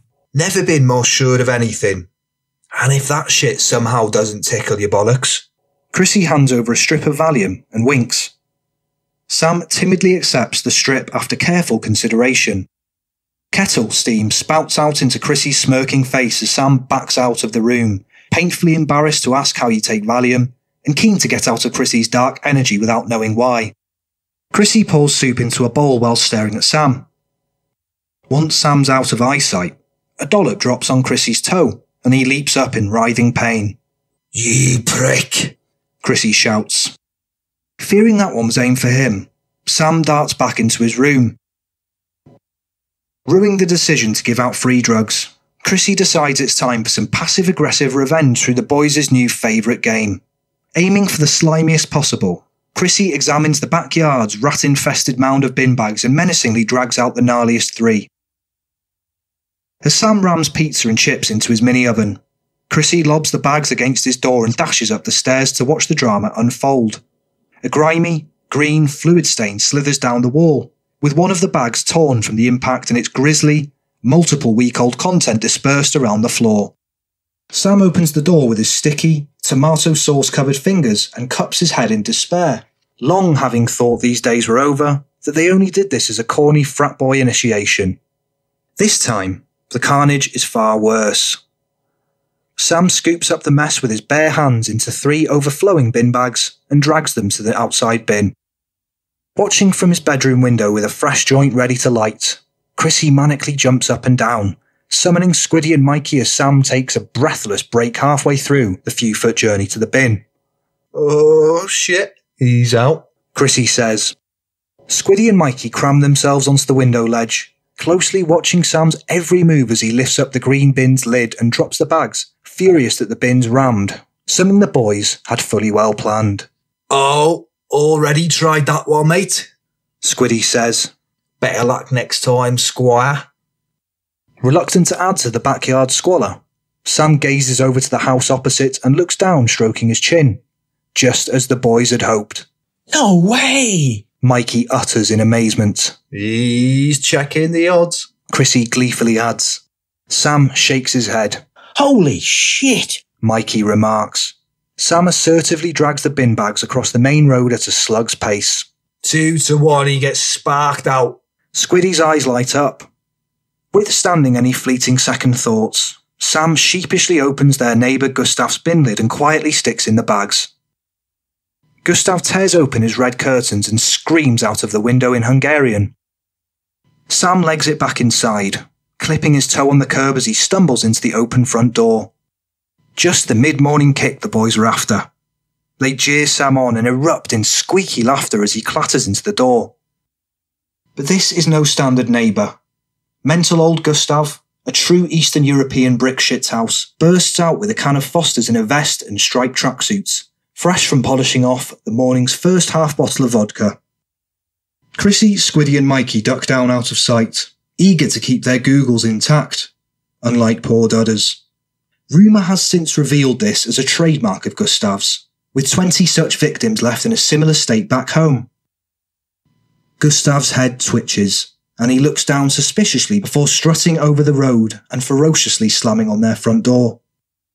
Chrissy carefully slides down the window, anxious of the madman copping their ungovernable hysterics. Following a solid 10 minutes cowering under his bed, Sam finally finds the courage to get up, but only after hearing Gustav zoom off in his vintage Fiat Strada. An L shaped spliff build in his hand rips as he jolts up at an unnerving clang from the oven. Lights out. What a con! He's seething to be left with yet another impotent oven only days into its use. Short of money for a takeaway, and with the shooting hunger pains proving unbearable, Sam heads for the kitchen's greasy communal oven, an eventuality he's feared since day one. He shoves in the baking tray and picks up the floored oven door, dropping it the second last night's blood touches his hand. Mikey gazes over, chuckles from his bedroom, scratches last night's head wound, and turns back to the computer, oblivious to the light stream of blood now trickling down his ear. Chapter 3 Dio Sam's fiery mother, Sharon Sullivan, widely known as Shaz, drives down a dark, bumpy, pothole ridden country lane carved out through a field towards her traveller cousin's remote Bickerton settlement. It's her first visit in ten years, and buckets of joyous childhood memories flood back from every corner of the land. Thomas Sullivan, her overweight, speckled husband, slumps in the arched back passenger seat, shivering in his skimpy, non-weather appropriate outfit on this bitter evening, bashfully sulking at Shaz's stonewall insistence on keeping the windows wide open on account of her chain smoking. Having tried everything possible to isolate Shaz from the Barrys, he's thoroughly dreading the probable hostile reception from her sturdy cousins, all long suspicious of his intentions. Talksport live commentary rustles from the radio's weak signal, disrupting Thomas's avid analysis of West Ham's Europa League Conference League fixture.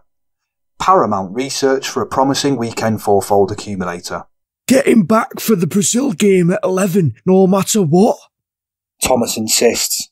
You can still bet on it. Shaz sharply says. Not if I'm not watching it. Shaz looks away and takes in a deep, hostile breath. Missing three Europa League games for this already. Two of them are winning. Fucking ages since we've been here. Suck it up for a bit. They ride over a significant pothole, and a screech from the bottom of the car stabs through Thomas's fragile, stingy soul. Steep night already.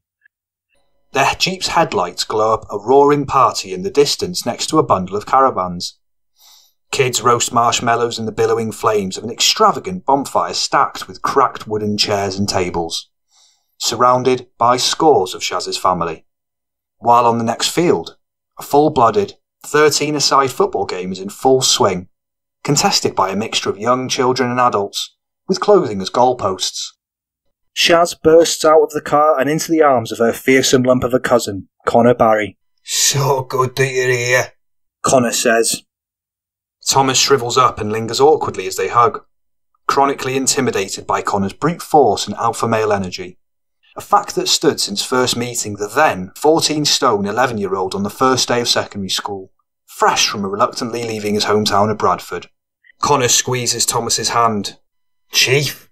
In turn, aggravating his early stage carpal tunnel syndrome. Keen to melt into a corner and keep firmly to himself, Thomas leads Shaz to a pair of bright, fireside blue and white deck chairs.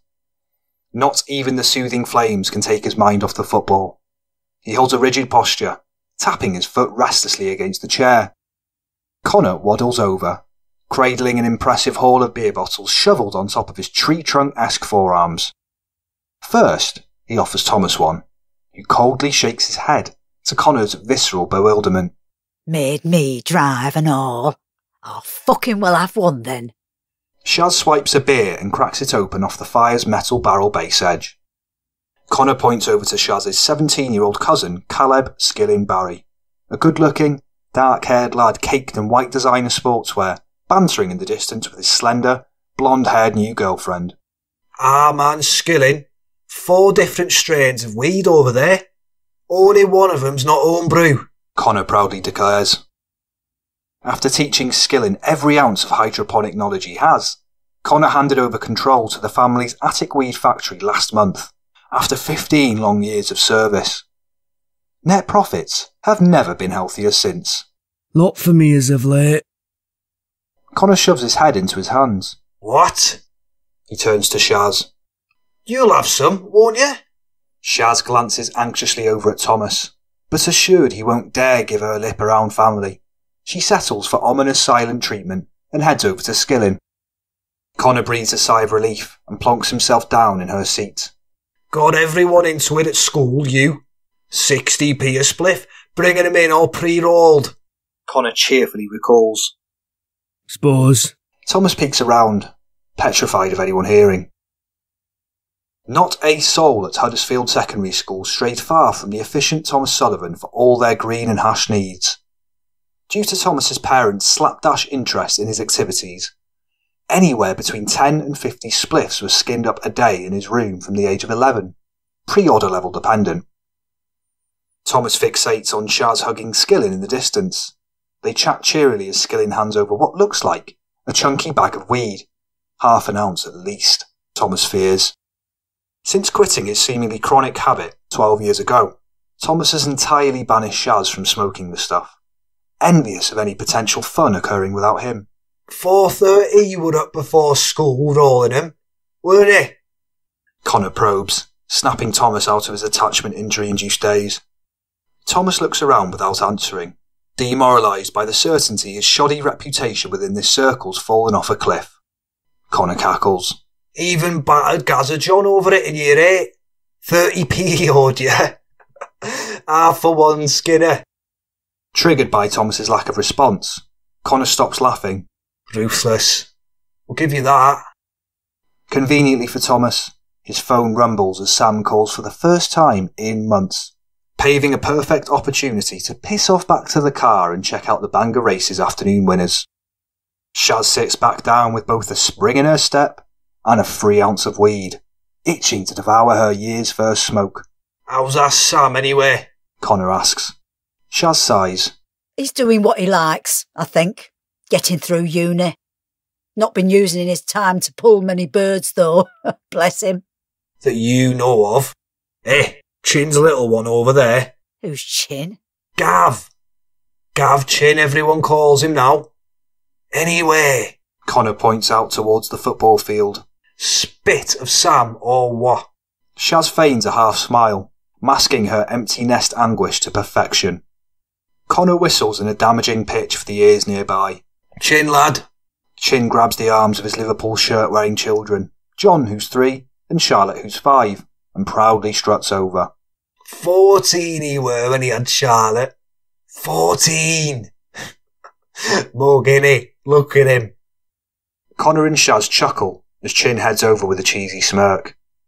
Having never met her young second cousins, Shaz struggles to hold back the tears. Sam paces frantically around his room while on the phone to his father, already frazzled from three hours of Al Jazeera news whirling in the background.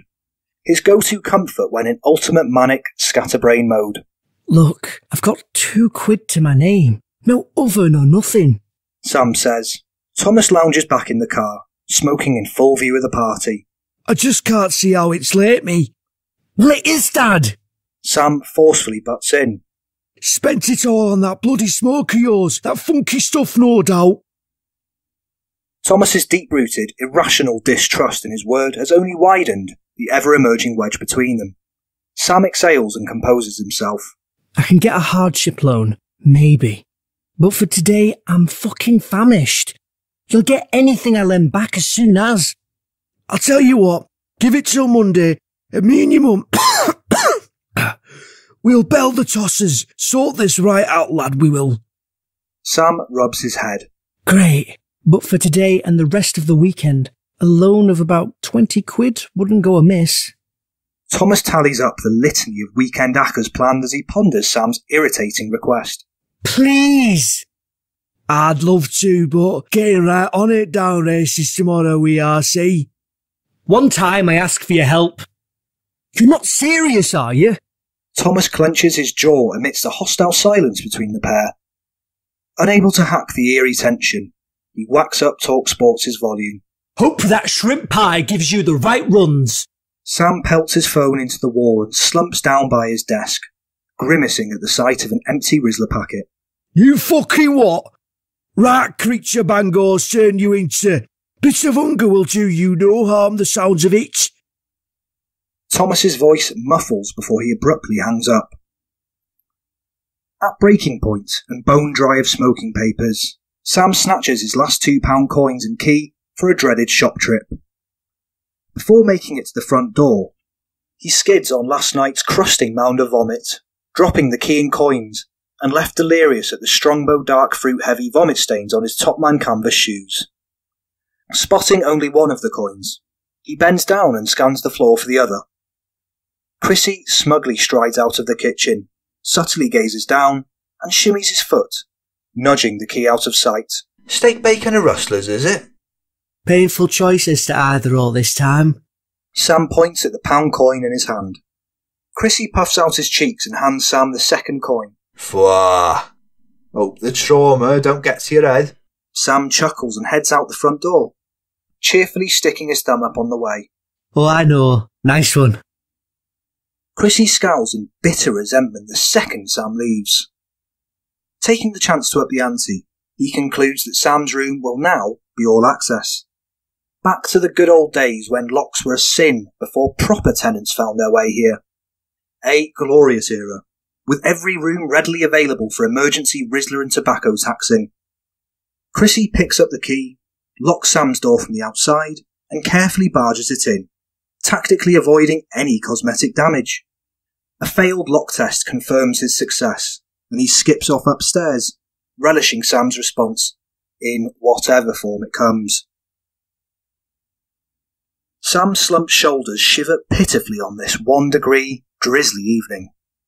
It's nothing but his own fault, having failed to upgrade his thin dark red H&M coat, despite the cold being a routine factor an excuse for his hermit life. Ben thunders past and pulls up on the curb in a tidy white Land Rover pickup. Ten hooded youths await him, giddily gathered on the pavement, jumping around and pulling wheelies on their stolen bikes. While it's a mere few hundred metre trip to the shop, this motley crew adore heckling Sam, and with Brandon, the main culprit of routine seagull dropping through Sam's window, eyeing him up, Sam knows he's right in for it. With pavement only covering their side of the road, he's left with no choice but facing the dinglers to avoid a night consumed by dismal hunger pangs. Ben wags out his second finger, and Gitto Ap Sean, the bumbling leader of this predominantly school-age gang of roadmen, swaggers over, dressed in all black. How are you, my mate? Gitto lights a spliff with a clipper lighter by Ben's car window. Ben slaps the hefty joint out from Gitto's mouth, and it rolls under the car's tyre. Gitto fights the pain and keeps a straight face while lightly tapping his slightly bloody lower lip. Told you, didn't I? No chonging on the fucking high street. Ben viciously demands. Gitto nervously nods and hands over ten £20 notes with a trembling hand. Ben cackles cynically, bathing in Gitto's terror and embarrassment until he's had his fill. Only then does he pass over a three and a half gram bag of cocaine. Dingler, man. Ben mutters. Sam strolls tentatively past the group with utmost care while they jeer his way, mocking his now crusty £16 blue Topman canvas shoes and mop haircut. Some deliberately stand in Sam's way as he heads past the car and glances briefly at Ben. Tell that little rat, wouldn't I? He can come here and chat shit about my point eight to my face. See what fucking happens. Ben warns Gitto. Brandon opts to take things into his own hands, simply unfulfilled with measly verbal taunts. He throws up his hood, darts over to Sam on a BMX, and trudges slowly alongside him. Let's see your backflip then, lad.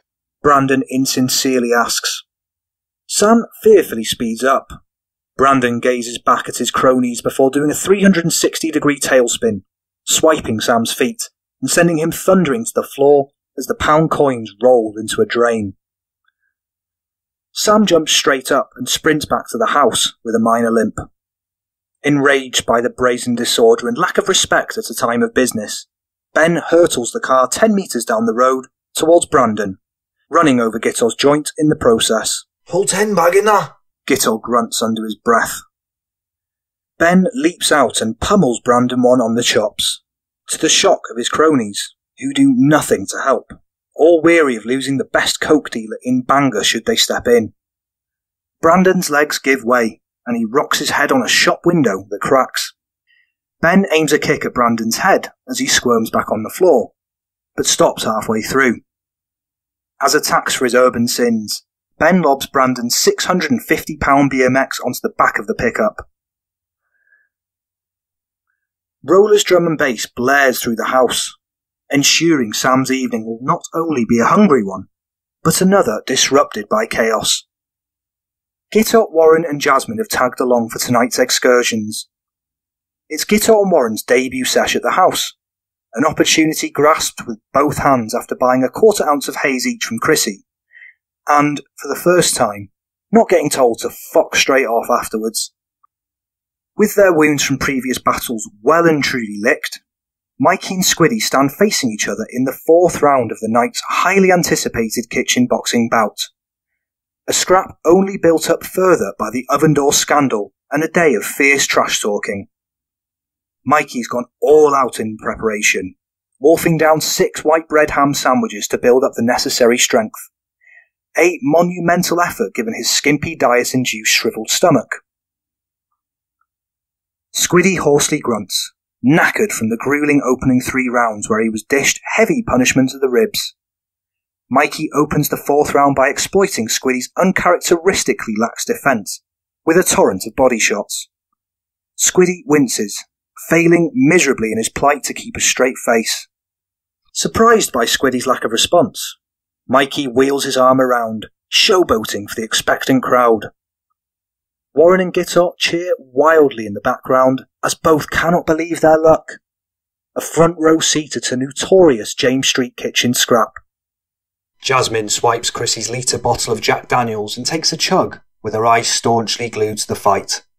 Chrissy sighs, but daren't complain and risk jeopardising a swift little round two upstairs with her later on. Stop pissing about then. Mikey needs no second invitation. He pummels Squiddy one on the cheekbone, and Squiddy's eyes squint as a red raw mark starts forming. Despite this, Squiddy's head remains unmoved and he roars, finally having woken himself up. Fucking flatten him, Squiddy. Jasmine cheers. Squiddy winks at Jasmine. Might as well scrap all your Mario saves now.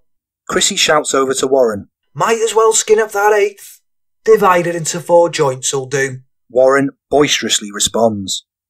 Gitto high fives Warren as they turn to each other and chuckle, both supremely confident in their bet with Chrissy over the fight. If Mikey wins, they get an eighth of weed. But if Squiddy were to prevail, then Warren has to hand over his beloved Nintendo DS. Chrissy's phone rattles off. To his dismay, he despises this aspect of the dealer life that often leaves him socially drained, sometimes by as early as 2 pm. Squiddy repeatedly pretends to slap Mikey, who shudders each time, much to Squiddy's amusement. Chrissy checks the text. It's one from Sam, saying, Hey man, sorry to be that guy, but can you keep the music down a tad, please? Ten long minutes later, and Sam's at last been gifted a response. A picture of Mikey knocked out on the floor with a cut forehead and purple sharpie scribbled over his face. Warren, Gitto, and Squiddy all pose around him, pulling ridiculous punk rock poses with their wagging tongues out. This is swiftly followed by a second picture of Chrissy smoking a gram and a half size spliff with deliberately messy hair. Finally, a voice message follows that's voiced by Gitto in a posh royal accent. Due to the catastrophic trauma and hardship we have all witnessed here, the minimum permitted level of sound in line with Sesh House policy is being closely adhered to. We thank you for your sheer cooperation and understanding on what is a difficult time for all.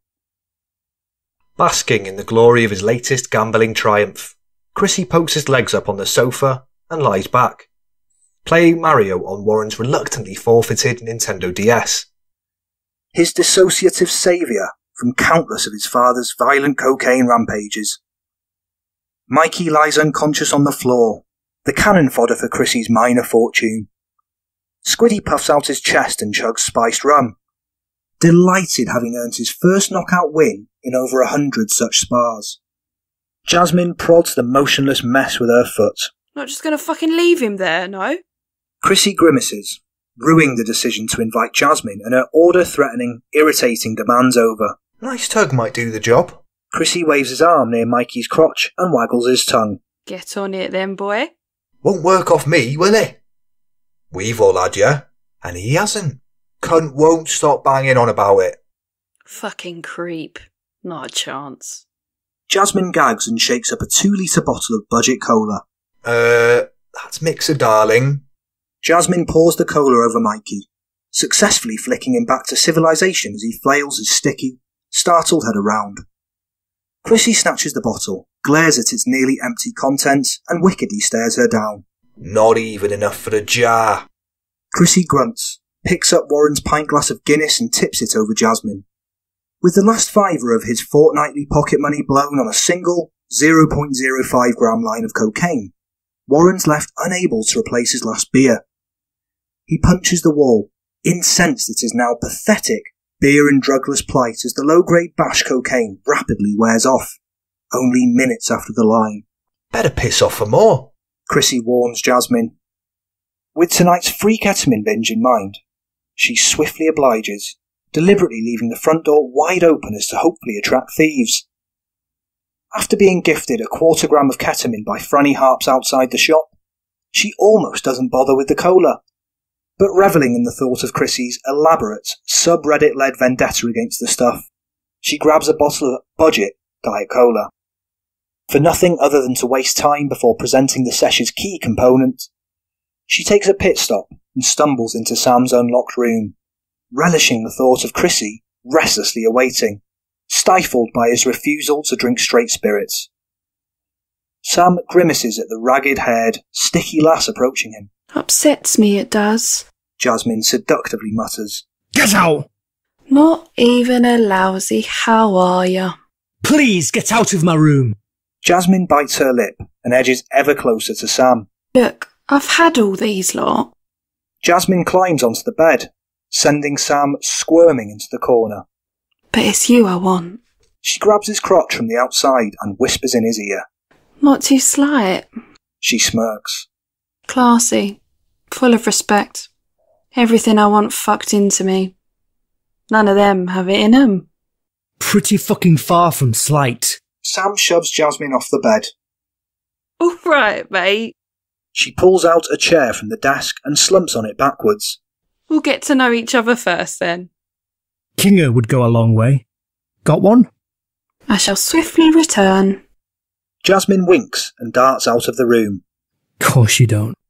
No sooner than Jasmine's sticky hands leave the door handle, Sam drags over a five foot high clothing cupboard and places it in front of the door, breaking quite the sweat in his excursions.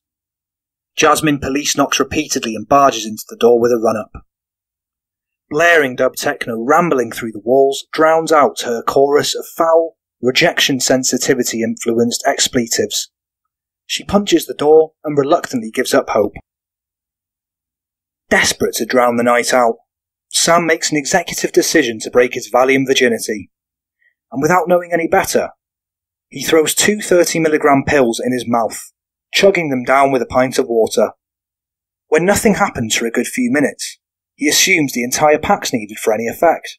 But being the ultimate steady Eddie, he settles for half as an experiment. Three more sink down his trap, and he lies back for a game of FIFA, back to a career mode within inches of taking his beloved Bradford AFC from League Two to the Premier League. As the Valium quickly sets in, his usual airtight defence suffers, and he crashes to a 4 0 half-time deficit before giving up and whacking on Robot Wars repeats. Throbbing ankle and neck pain magically fades away, and he sinks into what is usually a disgustingly bumpy, rock solid mattress for a deep sleep. Finally, he blissfully thinks, while nodding off as the living room speaker's dirty, stinking bass fades out. A week later, and Chrissy's just back from Maes G, fresh from parting ways with 1,200 quid. What he was promised in exchange was eight ounces of Ben's self-proclaimed dankest lemon pie to ever grace Fortha Castell. On closer inspection, this couldn't be further from the truth, with its seedy, leaf-heavy content expertly wrapped up in six layers of cling film, hidden until proudly unveiled to Squiddy and Mikey, much to his abject embarrassment. Not only will this hit Chrissy hard in the pocket, but his skewed inner self holds an unhealthy chunk of emphasis on the quality of weed he can offer to mates and the people of Bangor. Such shattering of his reputation in this regard will leave his soul dangerously bare.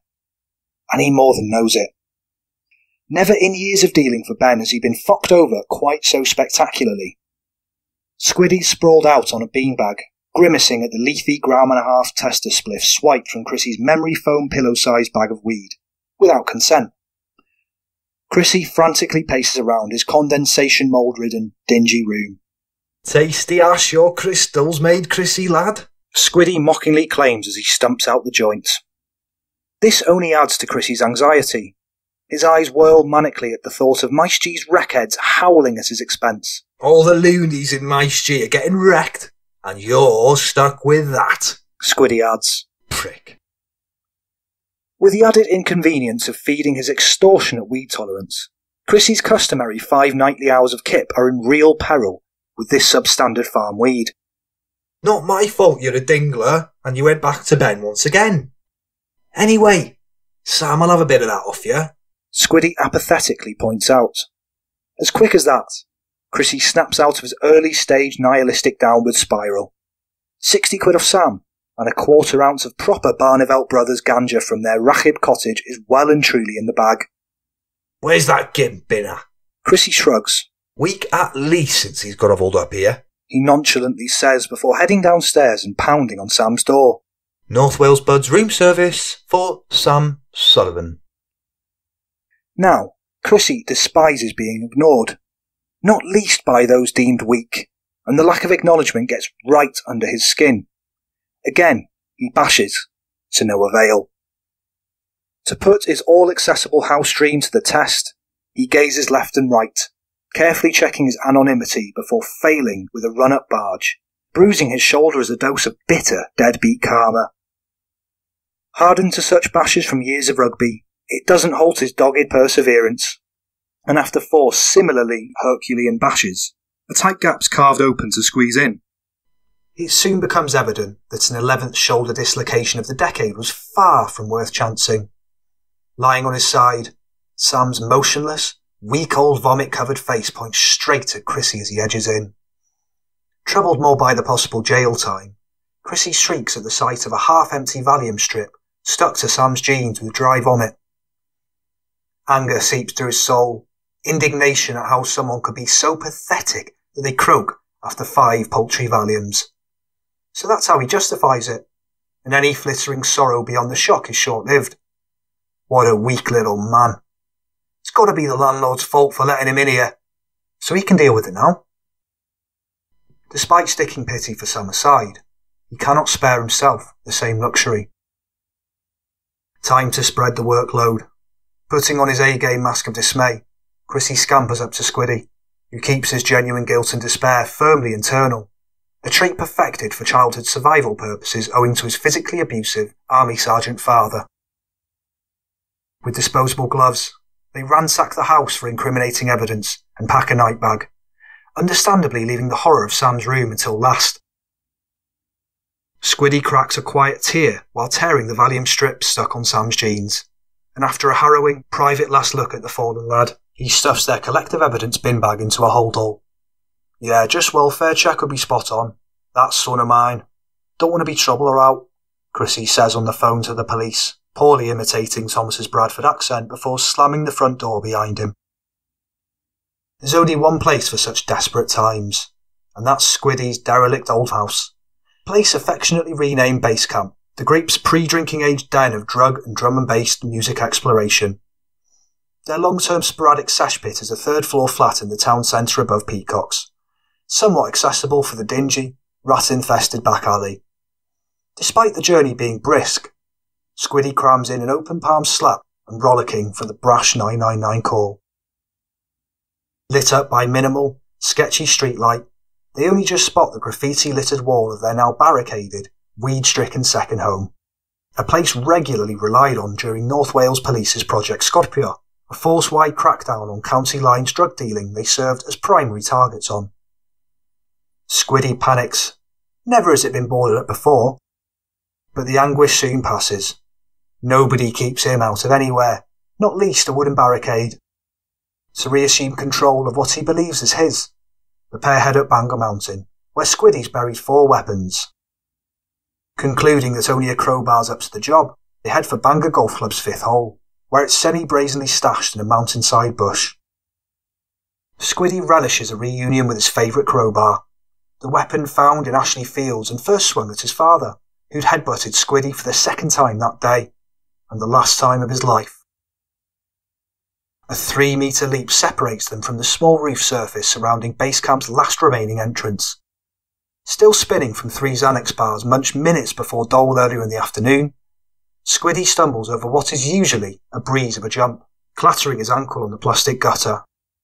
Chrissy painfully underthrows his lob of the crowbar, leaving Squiddy reaching over and clinching onto the roof ledge with the mere grip of his toes, risking everything to save his favourite toy from sinking down into the tight, dark, nettle-infested drop below. Chrissy elegantly clears the jump, with room to spare, but on landing, his maroon red Adidas trainers and G-Star number printed jeans sink through the rooftop.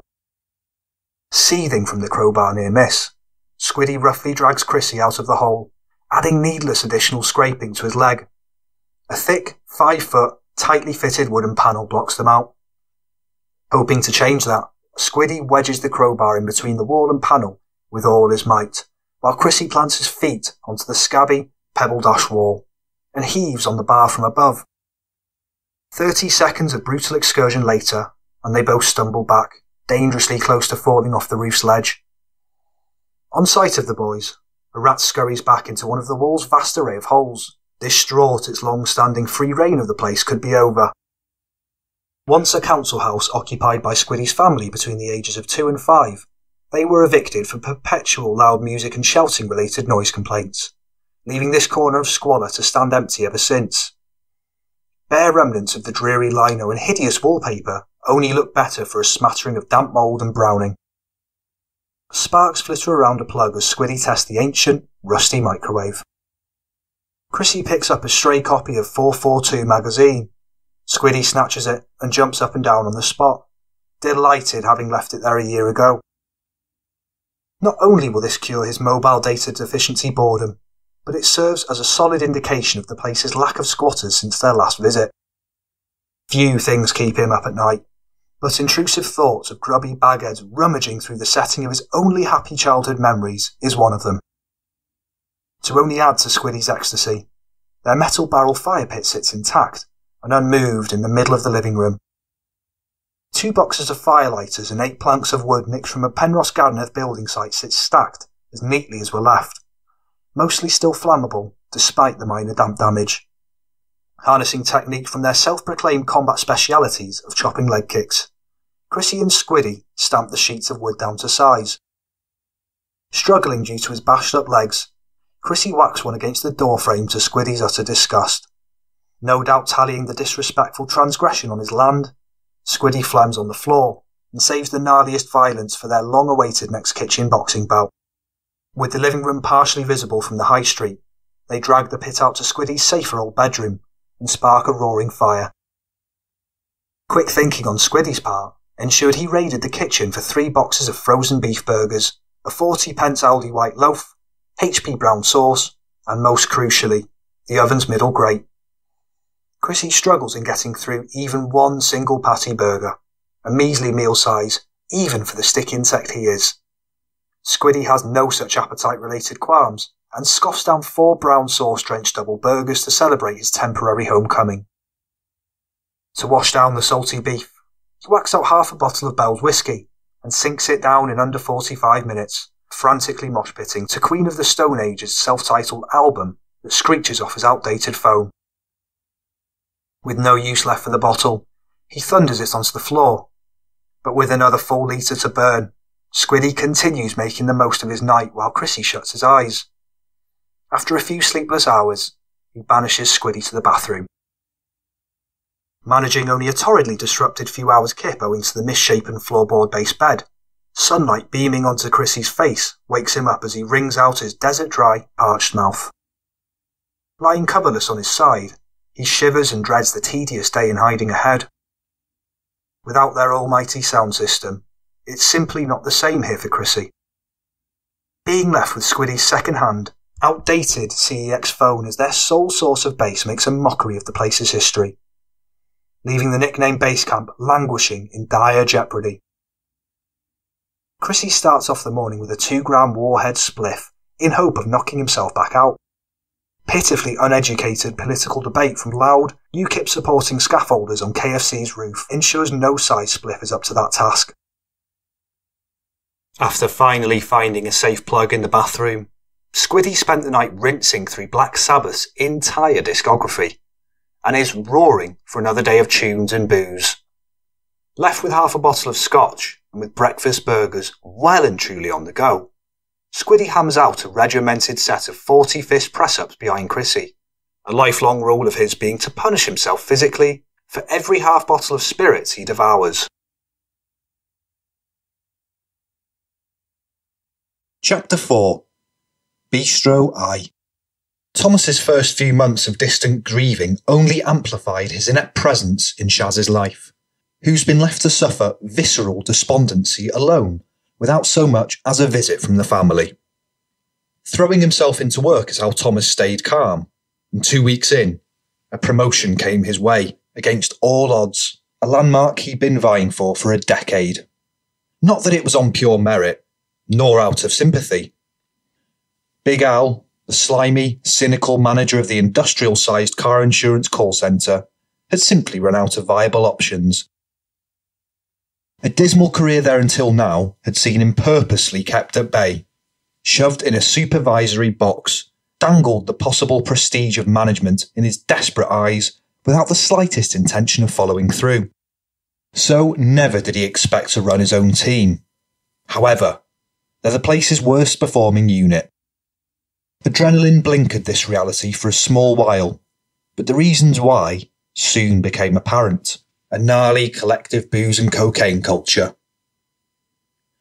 Fed up with the elaborate, mumbled dawn time voice messages asking for last minute sick days constantly leaving him short staffed, Thomas is bringing a new drugs policy into play. Bumbling in at 6am, he sticks up hundreds of posters stating mandatory monthly drug testing for all employees starting on the 7th. Non compliance and positive tests will result in the immediate termination of your contract in front of the building and around his unit. More affected by his own reputation than his son's death, this is part of a subconscious planning covering all angles to ensure nobody thinks for a second he somehow encouraged Sam on his path to drugs. Rudely disturbed from their local drug dealer tip trading, panic sets in as the sleep deprived, come down ridden, stop out call handlers slowly waddle in for another glorious day in paradise. This is a nightmare for over three quarters of the unit's staff and the mounds of dealers to whom they owe tick money. Needless to say, Thomas is duly reported, and by 10am, Big Al strips him of his dream, demoted down two ranks to where it all started, back on customer retention. A frontline phone peasant once again, effective immediately. Chrissy stood serving a family of five with a smart, pressed black shirt on his back and a notepad and pen in hand at Bistro I, a cheap restaurant where he now waits on, Yes, and finally, a Pinot Grigio. says Tracy, the family's well spoken mother, who specifically requested Chrissy as waiter for their third visit running. Josephine sticks an ice cube in her younger sibling's apple juice, eager as ever to show off in front of Chrissy. Have a bit of that. Pack it in. You won't be getting any cheesecake if you carry on. Tracy warns. Oh, Josephine. Could be a right disaster, that. Chrissy playfully adds as he theatrically rips off the order slip and turns to Josephine while walking away. Bit of barbecue on the side. Not touching anything. Chrissy's guilt spiraled following his role in Sam's demise, which subconsciously pushed him to get two jobs, one here and the other at the Hart pub, both being his first legitimate means of employment. Despite only having worked at the bistro for three weeks, he already holds quite the reputation among punters for his speedy service and well disguised glib charm. Starved of drug dealing's lucrative profits, Chrissy is, however, brassic for the first time in years. Stuck in a lurch for two more weeks until the first paychecks, a taxi's out of the question, and he's left to trudge the two mile trek home through torrential rain to the heart, tediously left with an hour gap in between shifts to loiter. Owing to his former four to seven gram a day weed habit, Chrissy's cravings remain ravenous a month later. Following a recent pledge to drastically limit his intake to a bedtime joint or two, resisting the fierce urge to optimise his hour break with a spliff at home en route. He'll have to settle for a lonely wait in the Harp's creepy basement staff room with a pre-packed plastic box of cold chicken pasta. Unable to hack the eerie basement after 20 sketchy paranormal minutes, he heads out for a quick fire, four fag chain smoke session to blow the last of his break. Such has his cigarette smoking level increased as his body reacclimatises to lacking cocaine and Valium. He's now resorted to smoking Benson and Hedges rolling tobacco, ditching his beloved Marlboro Gold straights to save on money. With the fourth fag down to its last drags, a brief glance inside confirms the place is chock-a-block full of rowdy, lightweight students, as deeply dreaded. Never before working here has Chrissy set foot in a pub sober. And the place's hawk-eyed accountant cuts out all leeway in sneaking the odd pint of Leffe to get through the shifts. No sooner is Chrissy logs onto a till. Old farmer's hat wearing hunchback Gwyndav Rowland stumbles in, defying his age of 55 by presenting as a pensioner, without doubt having timed his grand arrival for the start of Chrissy's shift, the sole member of staff passive enough to rope in to his incessant nattering. Without a single formality, today's opening hot topic is Gwyndav's five freeview picks of the week, all discussed in depth using thoroughly memorised teasers from the Sun newspaper's television pullout. Now warmed up and raring to go, Gwyndav's on to his top eight of all time Freeview channels. Sky Sports News, QVC, and Dave Plus One complete Gwyndav's unorthodox top three. Hurt by the lack of response, Gwyndav bombards a flailing Chrissy for his own top eight as he struggles in keeping up with the bar's blistering pace, left alone after Yolar called yet another cocaine-induced psychosis sickie. Chrissy names Babe Station as number one, and then channels one to seven as the rest. Didn't even think of Babe Station, lad. Fuck all that Netflix bollocks. Couple of jars instead. Won't see me paying for telly. Gwyndav defiantly announces. Chrissy frantically pours 20 shots of Fireball for Trev, who, according to a 10,000 person Facebook poll, is Bangor Uni's number one ranked drinker of all time. Garbage, innit? Waste of time, boy. Under siege, yeah? And fucking on deadly ground. Back to back film four last night. Chrissy rolls his eyes. Thought you would die hard talking pictures. Right down the shits that's gone. No loyalty in the Freeview world. Chrissy's shift continues in similarly tedious fashion as Gwyndav unloads his least favourite five Wu Tang songs with surprisingly in depth, intellectual analysis. Not a second past 11 o'clock, Chrissy risks his boss's wrath by shutting early in hope of an early night, a luxury that's been in short supply as of late. Ever since Sam's death, the amount of sashes popping around and staying at the house has skyrocketed due to Squiddy's unfiltered, relaxed policy on comings and goings. As predicted, Squiddy's new favourite genre gabber blares from the house as Chrissy approaches, heard as far away as the street corner. Unable to face the inevitable barrage of heckling for getting a job and cutting down on drugs, Chrissy delicately opens the front door and tiptoes upstairs. Having relinquished his wholesale dealer status, people like Gitto, Warren, and Llewellyn Tick see Chrissy in an entirely different light. They simply cannot fathom why someone would give up an emerging local enterprise and sell their phone full of customers to Squiddy for £200. Pathetic amount considering the 500 to £1,000 of daily business it brings in. That's without them having a clue that he's recently started college, a fact he'll never live down if found out. But it's for that reason he's taking an early night. At least, that's what he hopes for. A three hour doze is all that can be mustered. Squiddy sprinting up and down the stairs 50 times to stave off an imminent heart attack while on a rough acid trip being the tip of the debauchery iceberg of things keeping him awake. When Chrissy finally emerges for breakfast before college, he finds Gitto, Jasmine, Squiddy, Llewellyn, Shane, and Mikey sprawled out on the floor, all scattered around Mikey's bed among a variety of broken glass and vomit, barely affording Chrissy the space to reach his smoothie maker. Shredding of wonky strawberries, bananas, and oranges abruptly awakes Gitto. He scowls and turns the other way, set for a sleep deprived day, with a stinging head and 1p LSD still swarming through his senses. Chrissy blags his interview for the Access to Social Sciences diploma course by announcing his intention of becoming a counsellor in future. A strategy that duly worked and got him a place on the course that, if passed, will bag him a slot at university. So far, he's taken well to the first few weeks of classes, particularly thriving during psychology lessons.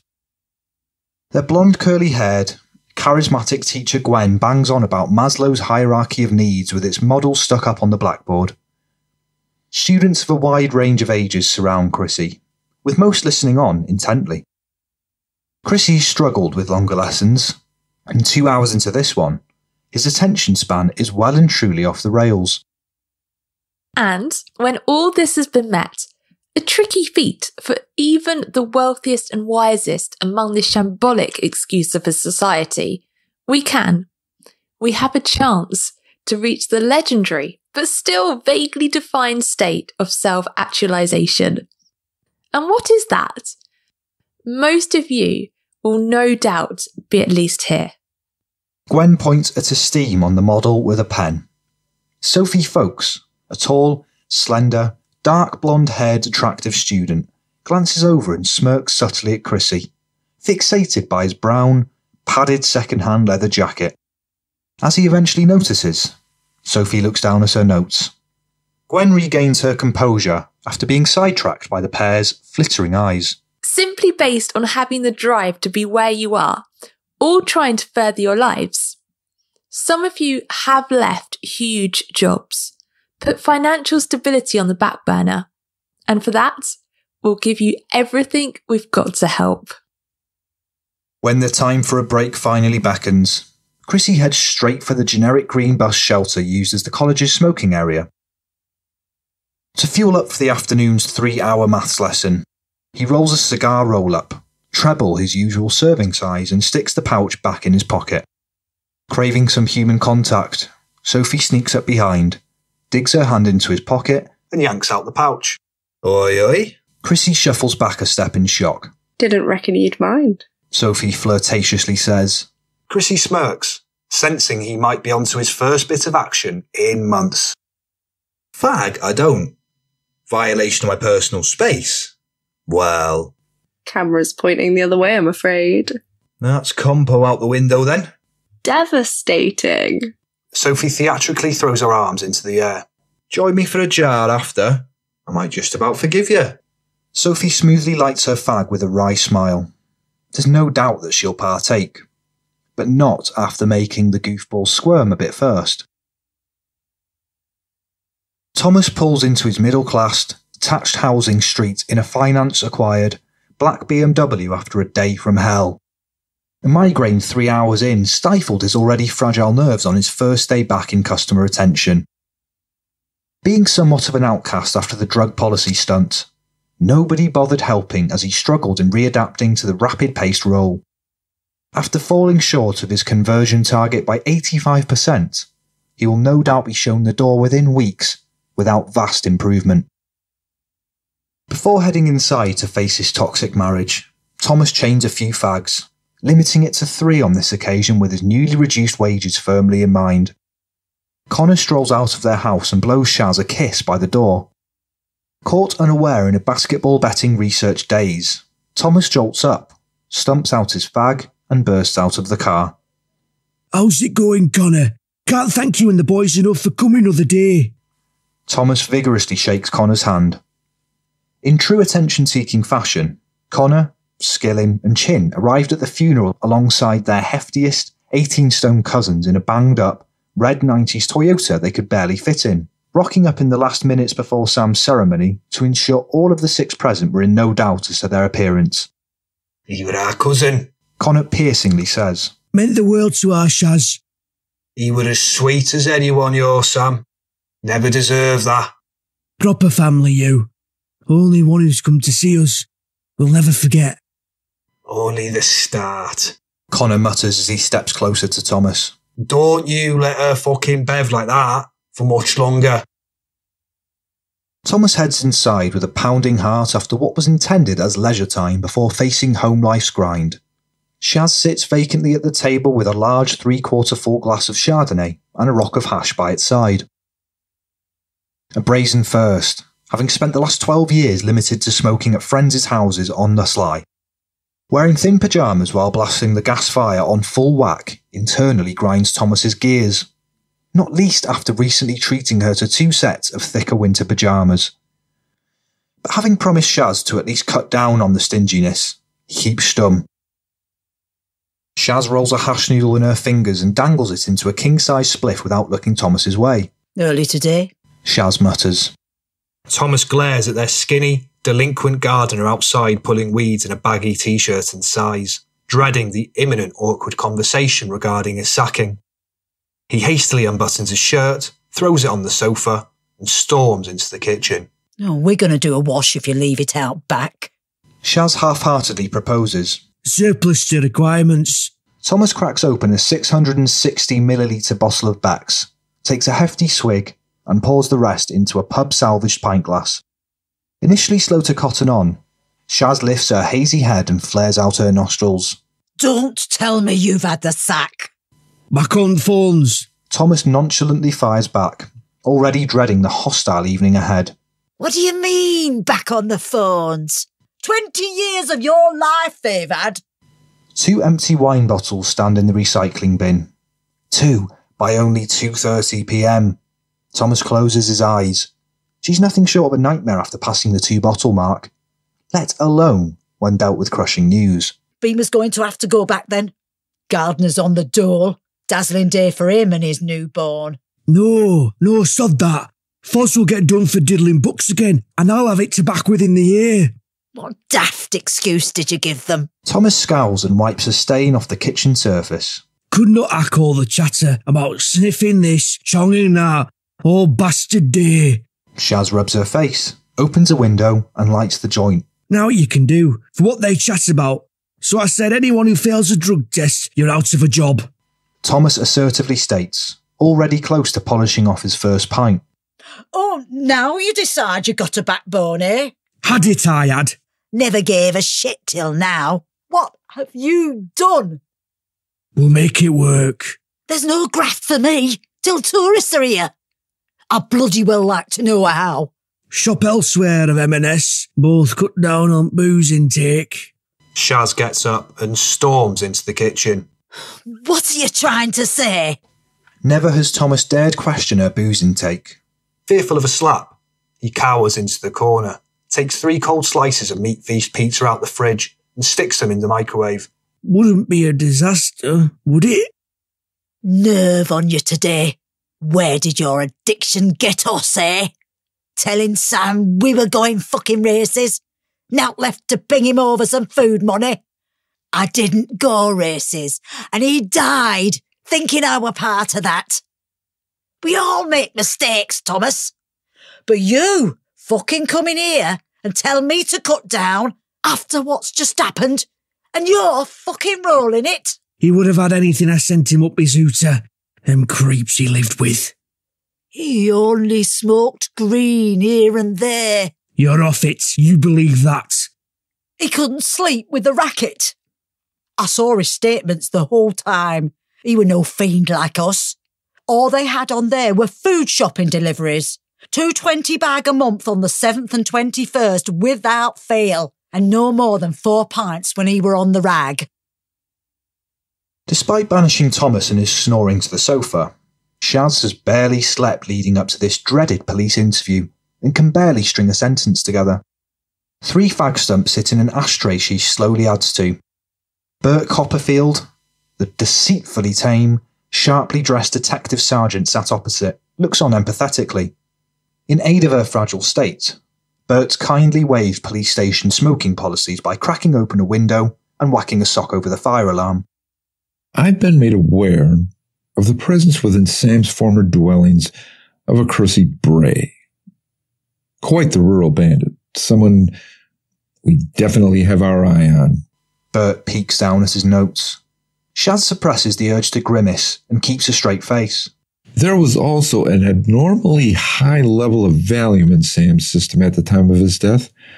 Now, when I say abnormal, I mean for a non or very occasional user. So, you're absolutely sure Sam was familiar with drugs? Bloody right. Knew all about them from his dealing and that. Never used to take much mind. Shaz taps the side of her head. Businessman and half. But last few year, Shaz takes a deep breath and shrugs. hard to say no in uni. So much of it on him and all. Bert subtly rolls his eyes, frustrated by their lack of progress. We had our suspicions that Chrissy, or one of his goons, may have had a hand in this, see? Shaz shakes her head. Sam's life were always going to go that way. Choices he made, all his own doing. At least my lad ain't hurting now vulnerable anymore. And those boys who were selling for him, they've got a chance at life now. After tactfully dissociating for another 20 strenuous minutes, Shaz can't get out of the place fast enough. She passes by the reception, determined to keep it all in while repeatedly slamming the exit button. Finally, it edges open, and she jogs down the road before vomiting in a bush. Never has she lied in such a capacity, but knowing Chrissy gets off the hook makes every second of this brief, inner anguish a breeze. Chapter 5 HMP Berwyn Special After their introductory few jars, Chrissy and Sophie became an item from that very night, and have proven inseparable and damagingly codependent for the five months since.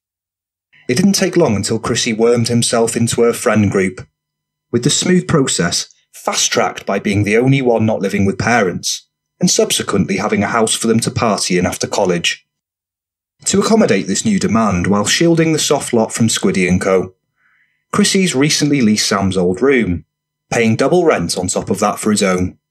Strangely, however, he's kept the majority of it intact, including no less than Sam's six foot Bradford FC flag stuck up on the wall. Joining him and Sophie for today's old school hip hop dominated post college bash is Lucas, a stereotypical looking scene kid, and his darkly dressed, somewhat distant, infinity pool obsessed girlfriend Bev. All sit in a circle drinking budget beer while playing the card drinking game Pyramid. Sophie turns over a card on tier 5. It's a 3. Cards are split into five tiers, in a pyramid shape, with the surplus cards evenly dished out between the players. Flipping over a card on tier 5 means whoever has that card, which is a 3 in this case, designates someone in the circle to take five swigs of their drink. Chrissy has two threes that he chucks down before pointing at Sophie. Having two of them gives him the ability to designate her the entire ten swigs, or give five to her and five to someone else. Get it down, ya, Chrissy demands. Sophie smirks sarcastically and downs her beer. With it soon apparent her current drink won't last ten swigs, she throws Chrissy the bottle opener, and he passes over another. After devouring her swigs without so much as a wince, Sophie turns over another tier 5 card that's a 6. She jabs Chrissy in the stomach and whacks three cards down on 6, dishing him out a mandatory 15 swigs. Miserable git. That'll show you. Sophie insists. Chrissy ferociously chugs his beer while Bev takes a light swig of hers. Dish it out a bit. Fucking parched over here. Lucas restlessly barks. You don't have to wait for the game to tell you when to drink. Bev clinically says. Lucas looks down, furious by his own robotic tendencies after five consecutive secret New Year resolutions to toughen up and take control of life. He takes an awkward swig of his beer. Following a night bent over the bog, chundering every quarter of an hour, Chrissy's criminally ill prepared for his debut at Sophie's wealthy parents' oversized, oval shaped dinner table. Overwhelmed by the £5 million house's Victorian beauty, he struggles to keep his cool during Sophie's grey haired, condescending father Reginald's subtle grilling. After being left his father's international property portfolio, he's a man who's worked for nothing in life. A situation fully taken advantage of by his stunningly dressed up, aristocratic wife Joan, who's in their loveless marriage for the long haul. Chrissy fights to keep the beef Wellington, green beans, and red wine down.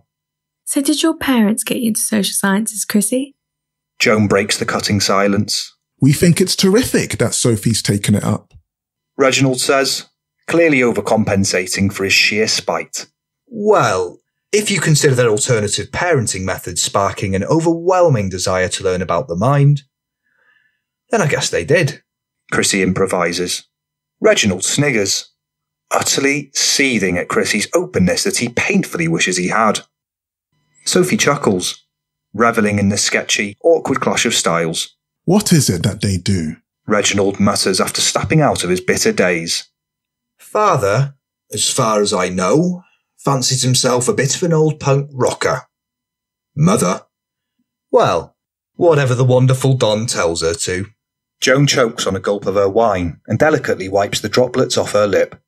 Reginald grimaces and stares down at his food, already despondent about missing Channel 4 racing for this, let alone being made to feel threatened and inferior for his lack of backbone. Mikey lays on his springy mattress, pouring two cans of budget beer into a stein at a time. Armed with a £325 government cost of living bursary, he's primed for an all dayer with one of his primary drinking buddy replacements, Franny Harps Harper. A scruffy, stumpy guy wearing worn out, decades old, low level chav clothing. Franny vigorously chugs a can of special brew, frequently spitting through a gap in his front teeth as he rages on. There's nothing he's missed more than Bangor High Street drama. A regular contributor himself to the chaos, Franny's newly released from a nine month prison sentence. Actual bodily harm being the charge on this occasion, specifically for breaking an old customer's jaw with a knuckle duster outside KFC over a seven year old, £40 ketamine debt. Chrissy's new friend group's tag along Jack Jones, an ingenuous, colourful top man check shirt wearing lad, stands on the other side of the open plan room on group food duties. Thoroughly intimidated by Franny, he anxiously spreads red pesto on tortilla wraps with a spoon. Despite Jack's initial hesitancy in using the kitchen, Chrissy cynically insisted the lads in there will just be doing their Welsh Bac essay. Wouldn't have even got my dog fucked that. Franny says. Fuming like this he was. He theatrically bends his back and clenches his fist. Want my wanna back now. Mikey falls back in hysterics, dramatised further by the afterglow of ten quick-fire recent NOS balloons to a backdrop of Gabba. Any fucking. Franny pretends to throw a powerful knee to Mikey's head. Little did he know. Three metal plates. Franny strokes his forehead. Old man used to batter him when he was four. Little did our Baz know. Crater face cunt he's nutted. Straight up. And he even robbed Baz's beers before he fucked off. Baz is out like this. Franny rolls on the floor holding his knee. Ah! Ah! Franny gets up and leans near to Mikey's face. Snapped his kneecap. Flat in half, man. Holy shit. Franny chops up a few fag ends with dirty scissors to make a skinny roll up. Not only that, Franny cracks up. cops rock up. Won't even take the dozy cunts way and he. Not right, that. How's he now? Fucking coma. Hell of an after op infection. Franny looks down with a grimace. This soon evaporates at the sight of Jack pulling two double tortilla based pizzas from the oven. No way, man. HMP Berwyn special, them. Oh, yeah? Jack tentatively says. You Used to cane these, lad. Franny takes one of the pizzas. Ever get sent down, eh? Franny squashes the pizza together. Fucking like that. He holds it in between a gap in the heater. Keep it there three, four minutes. Franny looks down towards Mikey. He ponders before nodding. They're, they're cooked, mate. Jack stutters. I'm only showing you. Franny defensively claims. He stares down menacingly at the pizza in hand. Chrissy, Lucas, and Sophie cheer on the group's star Peggle player Bev as she targets a new high score. Jack nudges his way into Sam's old room, evidently struggling as his matchstick arms tremble while holding four plates with a pizza on each, one of which bearing a gap tooth bite mark. What on earth is that savourless drivel? Sophie sniggers. Aldi Skint Lad Special. Four pizzas, three bar. Jack defiantly announces. Chrissy and Lucas swamp Jack, taking three of the plates and leaving him with the bitten pizza. He looks down before sticking it on the windowsill, praying it's swiped by a seagull or rat. Shaz vacantly sips from a bottle of Newcastle ale in a cheap, tacky service station cafe with Connor. Cars fly down the busy motorway behind her. Can't tell you how proud I am of you. Connor says. Shaz's face sinks. Could have done that myself. I would have. Tears lightly roll down Shaz's cheek. Hey, you're done. Nailed it, you. Sit back now. Rest is sorted. Connor puts his hand on hers. Shaz giggles and nods. Soppiest dingbat in Bickerton history. Shaz shakes her head. Uncle Todd slices your rugby ball for nicking a few egg, and you, so calm and collected here, peg it forty odd mile to all on foot. Weren't that far. Freezing your little bollocks off on side of road. I think you at least rival me for that award. After parting ways with Shaz, Connor cruises down the motorway in his new black family carrier at 80 miles an hour with a progressively bursting, determined smile as Jimi Hendrix blasts through the speaker. Time to meet Chin and Skillin at one of their rural meeting spots, a day he's been relishing for months. A mile long, bumpy track is all that separates him. As the bottom of the car rattles repeatedly on the jagged rocks sticking out from the shoddy farm track, Connor's customary road rage and car damage anxiety is nowhere to be seen. Chin and Skillin rock up 25 minutes late in their banged up red Toyota. Not that Connor could care less as he embraces them both.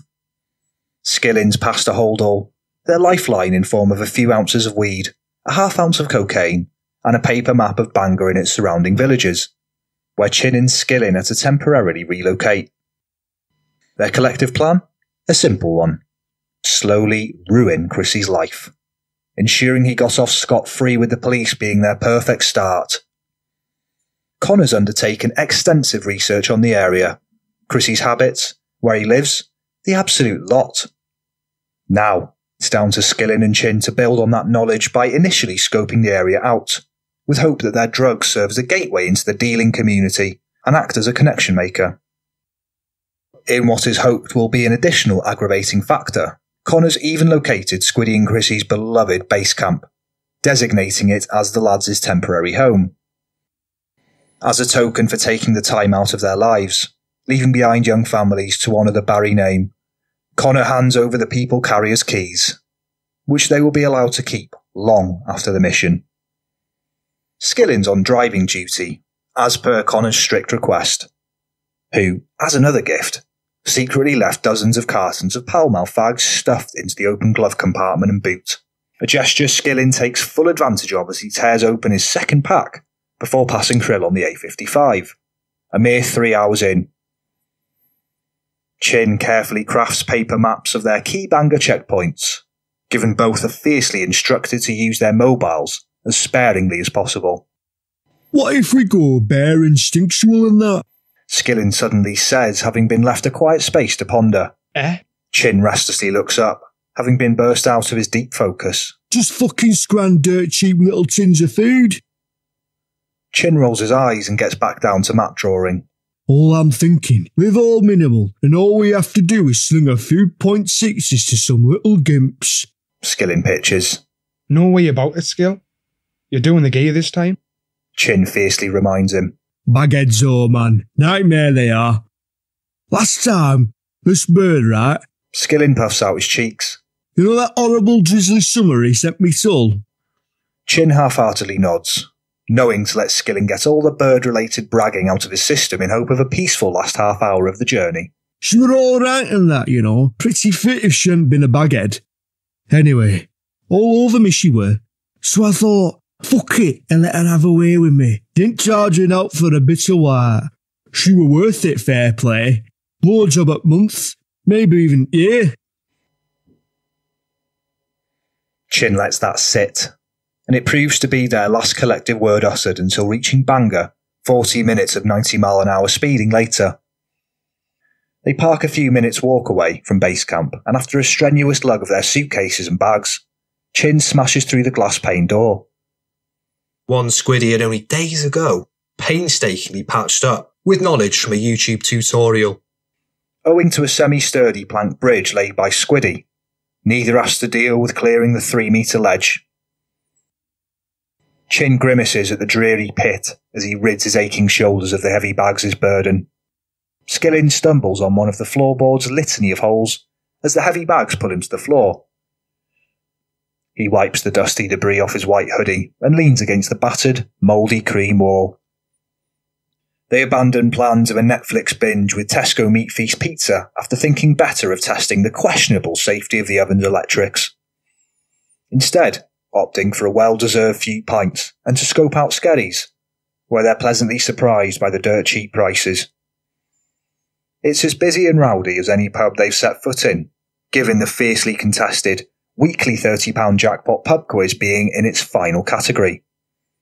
Limited to a local village pub a 10 mile round trip away back in their hometown, the bustle of Skerries slightly overawes the pair for 10 minutes or so. Skillin's fury at waiting 15 minutes to be served vanishes when not asked to present ID by the barman. A proud first time feat. You wouldn't have made out of the other lad's kept there, man. Chin insists. Best ones for the job, my arse. Skillin mutters. Chin spots Chrissy lounged back in a cubicle with Sophie, both chatty and cheerful, despite depriving one another of any sleep last night. He stares at them while sipping his Carlsberg before he and Skillin head out to the bustling backyard. Another culture shock awaits as the place is stacked with seven pint deep skaters and rockers reaping harmless havoc. They find a spot opposite a heavily made up, blonde haired girl Mared, who sat alone smoking in a black dress. Despite being in a new, happy relationship, Skillin spends the next half hour trying his luck, playing the Ghibli concerned protector. But to come out by yourself, what are you thinking? Skillin asks. Nothing happens to you here. Mared snaps back, far from relishing the attention. So what? You walk here and back, all on your little lonesome? Few miles, eh? And what? Maradon apologetically says. Gitto wobbles around after a tad too much ketamine, working his way through every individual table, asking if there's any decent green or bash about, in the hope of straightening out his spinning head. All responses vary from flat out blanking the boy to telling him to fuck off. Chin fixates on him, admiring what he sees. Could be just the docile little prick they need to get things moving. Skillin ignores Chin's tap of the shoulder. You were my missus, I'd be dead worried me. Mate! Chin barks. What? Skillin turns back to Chin with a snarl. Any green or bash about? Gitto asks a nearby table. Chin shrugs his shoulders as Skillin smirks, rolls up his sleeves, and struts over to Gitto. After bringing out all the tricks that earned him his secondary school nickname Slick Skillin, Gitto soon won over with the aid of free cocaine tasters. Within a few keys, Gitto snaps up a gram, and after claiming to have missed the last bus back to their hotel, Chin and Skillin are welcomed back to his family home for an all-nighter on the lines and beers.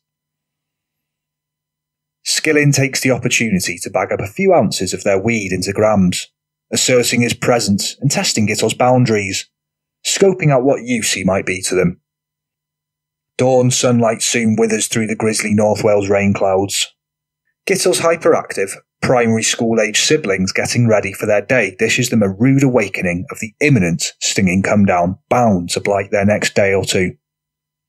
All the more reason to keep it going, as Gitto devours the penultimate line of his second gram bag of the night.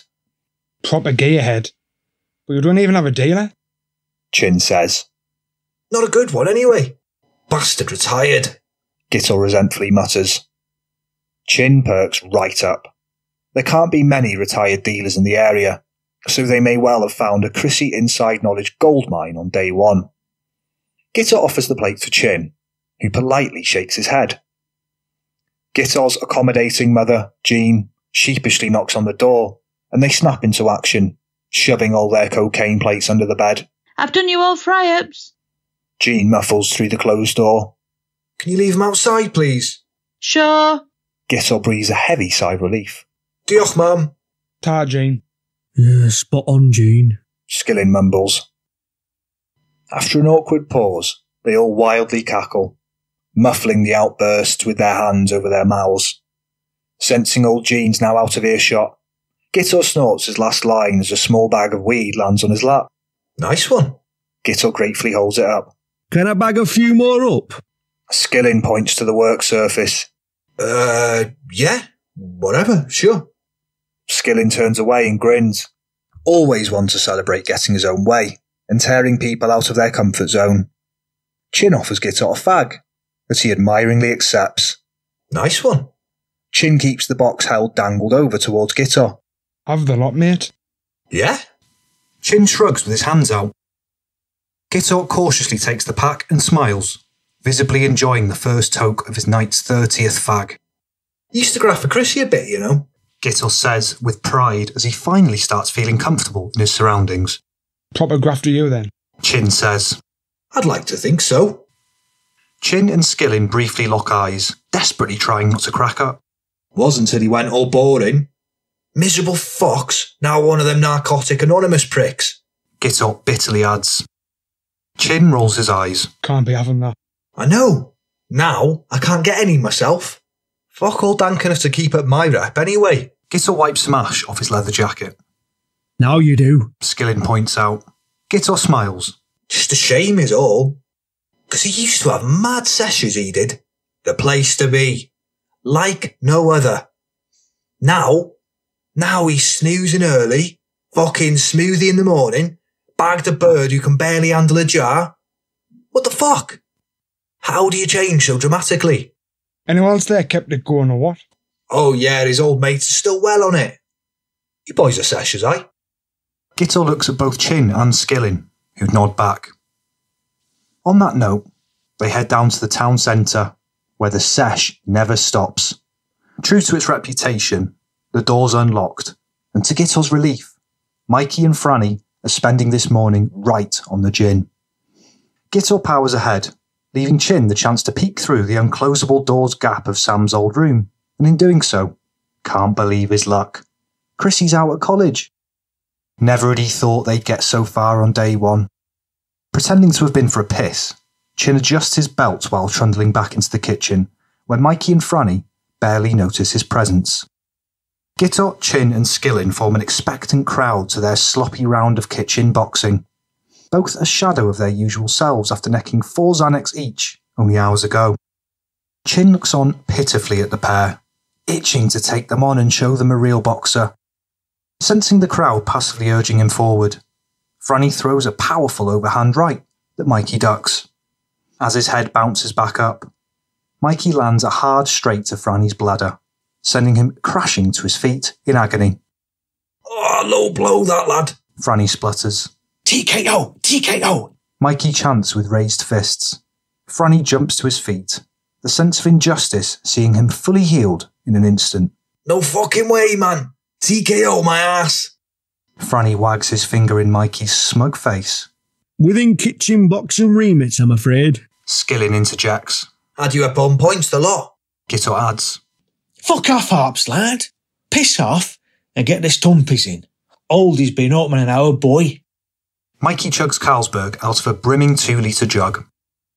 Chin takes his chance in the midst of Franny's wild protestations and sneaks out, quietly shutting the kitchen door as he tiptoes to Sam's old room. Using a code on a list full of Chrissy's passwords compiled by Connor with the help of a Fiverr freelancer, Chin logs onto Chrissy's laptop. Nationwide is the first stop, and to his bemusement, he's allowed straight into Chrissy's account. It doesn't take long to find what he needs, and Chin scribbles down Chrissy's customer number and login details. Next on the list is to take notes of Chrissy's Papa Roach, Massive Attack, and Static X dominated iTunes library, with the aim of working out what Chrissy might particularly despise. With time in the bank, it's time for a bit of extracurricular digging beyond that asked of him by Connor, for a bit of fun. Chin comes across a notepad titled NA Diary Organizer Pathway to Progress and chuckles at a frilly 3D heart sketch with Sophie written in the middle. After ripping a few useful pages out, he gets up to leave before recalling the exercise's most crucial aspect surveillance. Chin hides a tiny camera amongst a few of Sam's football themed hardback books and tests the connection out to an app on his phone, hopefully giving them unbridled 24 7 access. With it working perfectly, displaying a useful wide angle, with most of the room in shot, he stares into the lens, beaming his cheesy grin onto his phone screen. Shaz braves the bitter cold while chopping small pieces of firewood with a miniature axe in her sloped garden as Bob Dylan's album Desire plays off her phone. Just as her favourite song Oh Sister starts, the phone rings, which means, owing to her OCD, she'll have to replay the album from the start. She stops axing, sighs after seeing it's Thomas, rips a glove off with her teeth and answers the call. Thomas is sitting in a busy and smoky Mallorca pub's beer garden after taking a trip away with his redundancy payment. Scarlet faced after necking four pint cans in an hour and a half. Promising Bradford student drug dealer pays the ultimate price for washing Bangor with drugs. His mother, Sharon Sullivan, was quoted as saying, He'd always had a secret life littered in the consumption and distribution of narcotics. I feared this day would come. Thomas fiercely reads from the newspaper. That desperate for few bob, eh? Lying fucking cow. Bit more to it than that. How could you? Shaz lights a fag. That greasy Bangor fuck supplies the end of our son's life. Get away with it, does he? No prison. Why? Us are made out to be shitty parents on record forever. You wait till I get back. The only shitty parent were you. Absent when needed. Fruitless, sorry, pain in the fucking arse when not. We don't deal with police. My family. Forget, don't you? All of my heritage you tried stripping of me that I let you. Not this fucking time. No police, Thomas. You don't want to go there. Shaz hangs up, thumps some wood with the axe, and lobs it into a bustling white sack.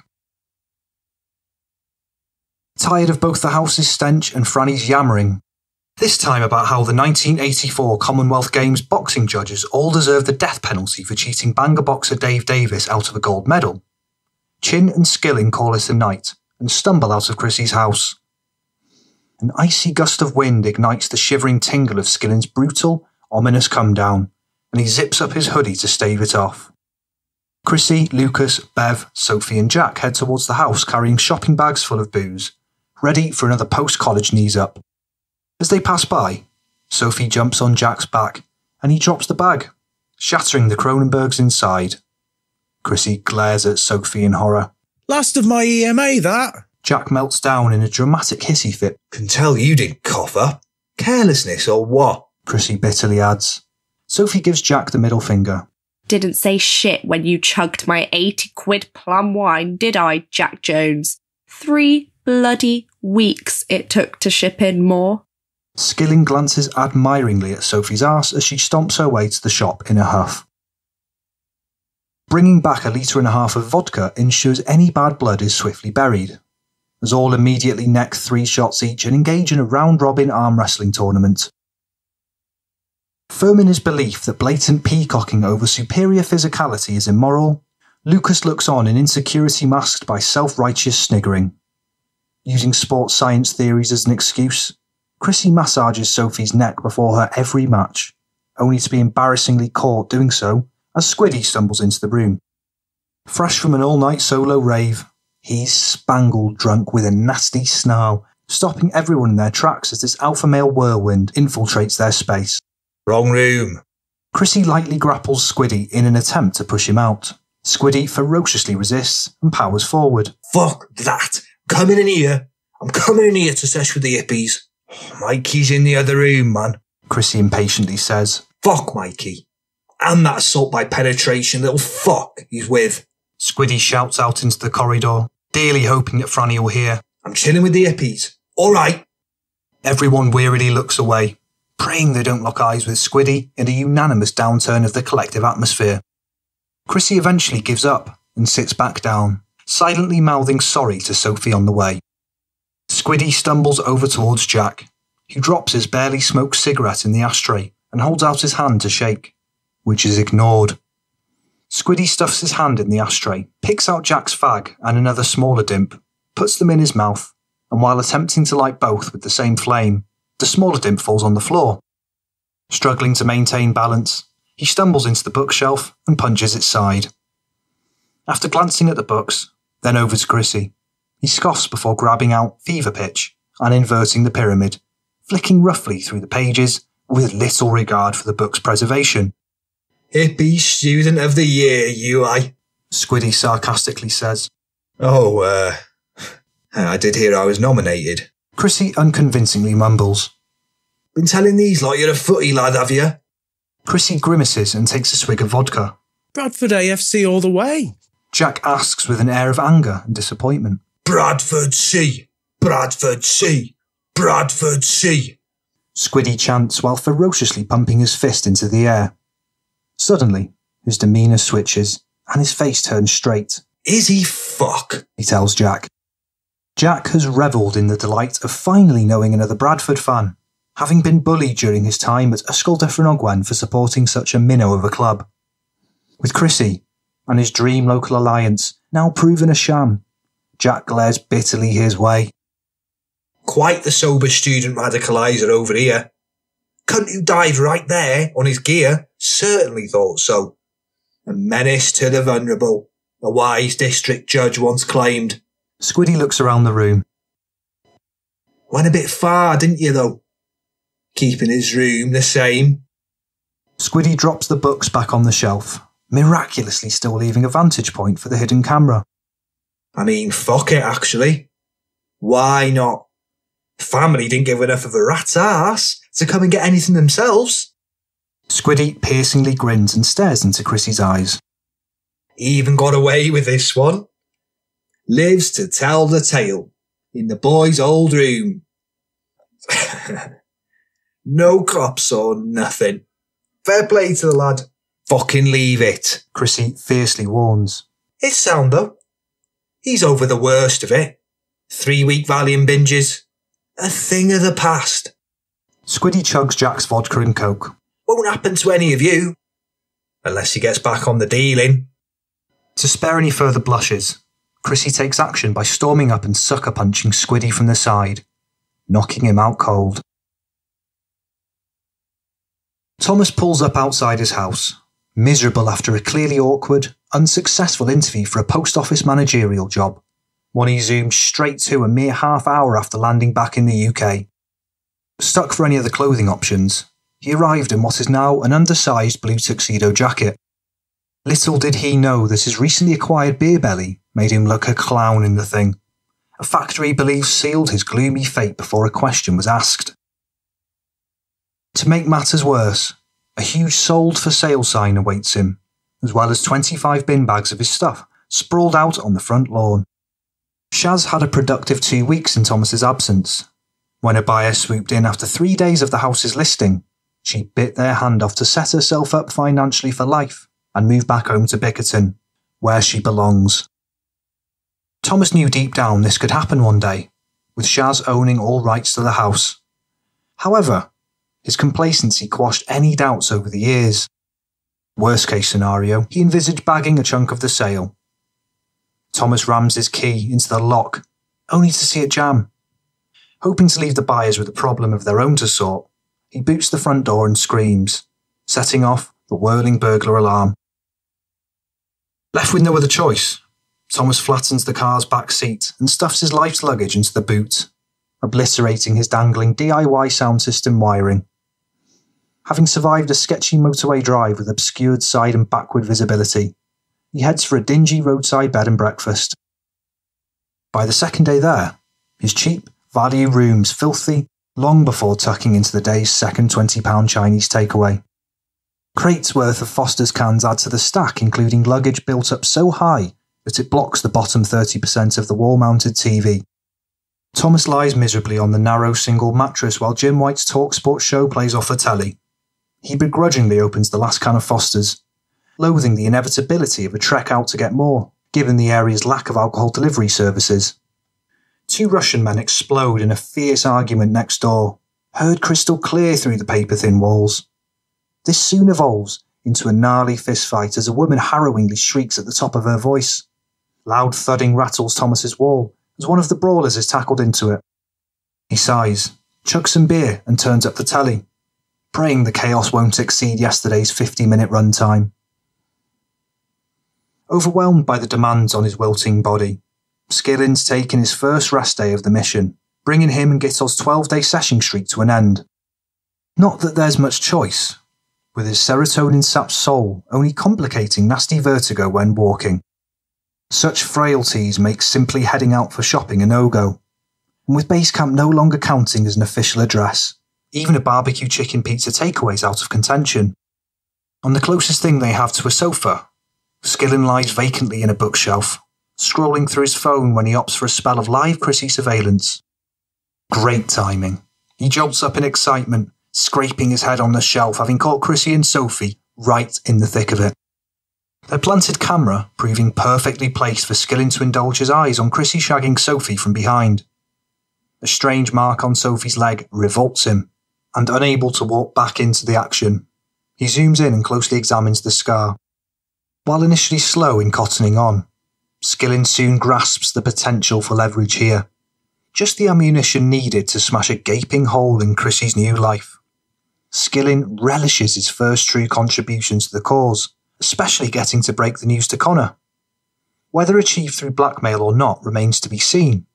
Something for Skillin to dwell his dangerously bored, depleted self over tonight. Squiddy lies passed out on the kitchen floor, still out cold from Chrissy's sucker punch 15 minutes later. A small blood trail leads from Sam's old room, where he was dragged face down from by his legs in Chrissy's desperate attempt to revive the party's vibe. Copious collective panic attacks ensured nobody took Chrissy up on an apologetic free takeaway. All dashed home to throw up and compile righteous, multi platform social media posts, chronicling the first dash of violence of their sheltered lives. Not that Chrissy and Sophie overly mind, with it providing an unexpected opportunity for Chrissy to finally give her one from behind, something he's been chomping at the bit for a chance to do. Sophie's wild, exaggerated moaning partly contributes to Squiddy's rude awakening. He grunts as his eyes slowly flicker open and stumbles back into the bin on standing. After eventually regaining composure, Squiddy squares towards Chrissy's room.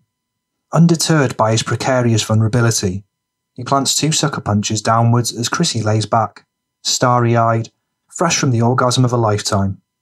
Sophie screams as Squiddy scoops the room's ashtray fag dimps into his hand and storms out.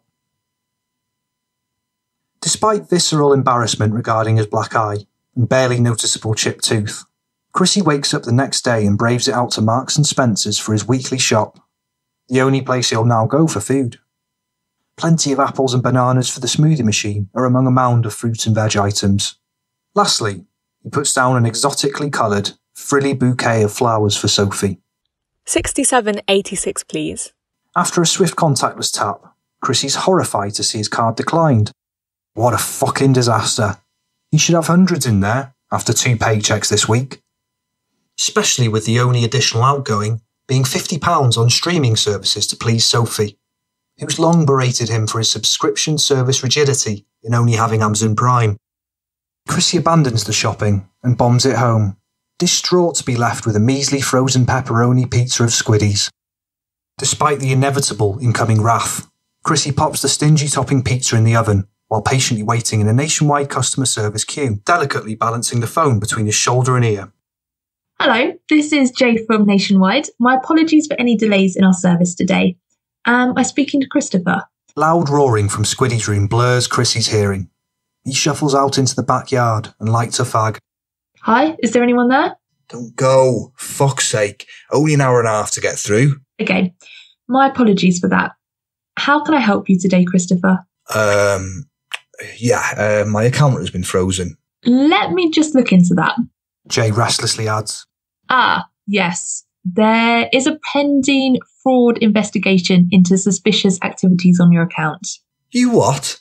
I can't tell you any more than that, Christopher, but rest assured, your frozen funds will be made immediately available to you upon the investigation's conclusion. Breaking any submission to the demands of his harrowing come down, Skillin summons Chin after breakfast for a spontaneous sesh on the rum at Gitto's. Knowing the lightweight will be reluctant, they hand Gitto a full bottle of lambs at the door, which swiftly quashes any qualms. After smashing through three quarters of their bottles each within a couple of hours, Skillin gleefully recalls the last few days of Chrissy gossip while crushing up a rock of high purity MDMA. Hey, mate, and he fucking writes a little, little love poems in that as well, don't he? Skillin asks Chin. What? Chrissy fucking Bray? Gitto looks away in blurry bewilderment. Chin flicks out his phone with a picture of the poem, but can't read more than a couple of words without howling. You do it, Skill. Skillin gladly obliges, buzzing for his first stab at a poetry recital since primary school assembly. Curse my life before you, wicked and oblique.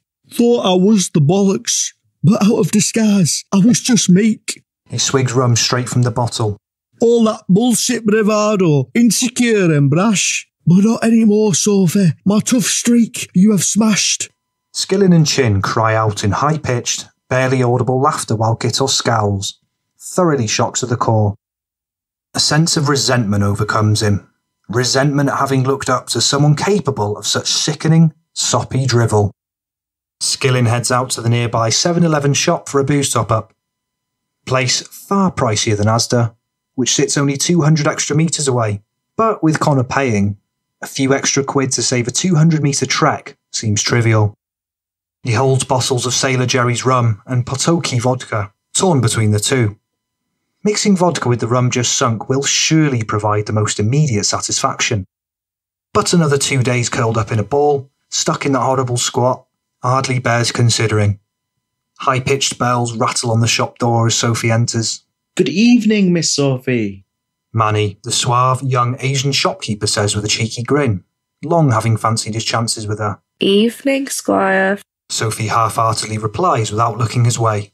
Well, my day just got better. Manny adds. Now, this gets Sophie's attention, and she peeks back with flittering eyes befitting of her flattery en route to the wine section. Skillin's head's completely gone. Slightly nervous for his big moment, he gazes manically through the booze section as Sophie trawls through the wine, meticulously tallying up the least scammy of all prices. After Sophie eventually settles for two bottles of rosé, Skillin pays for a litre of gin in such a rush to follow her down a dark, quiet alleyway that he gifts Manny the seven pounds change. Ready for action, he whacks up his white and gold hoodie's hood, lightly grabs her arm, shoves her against the wall, and rips out her headphones. Fucking let me go.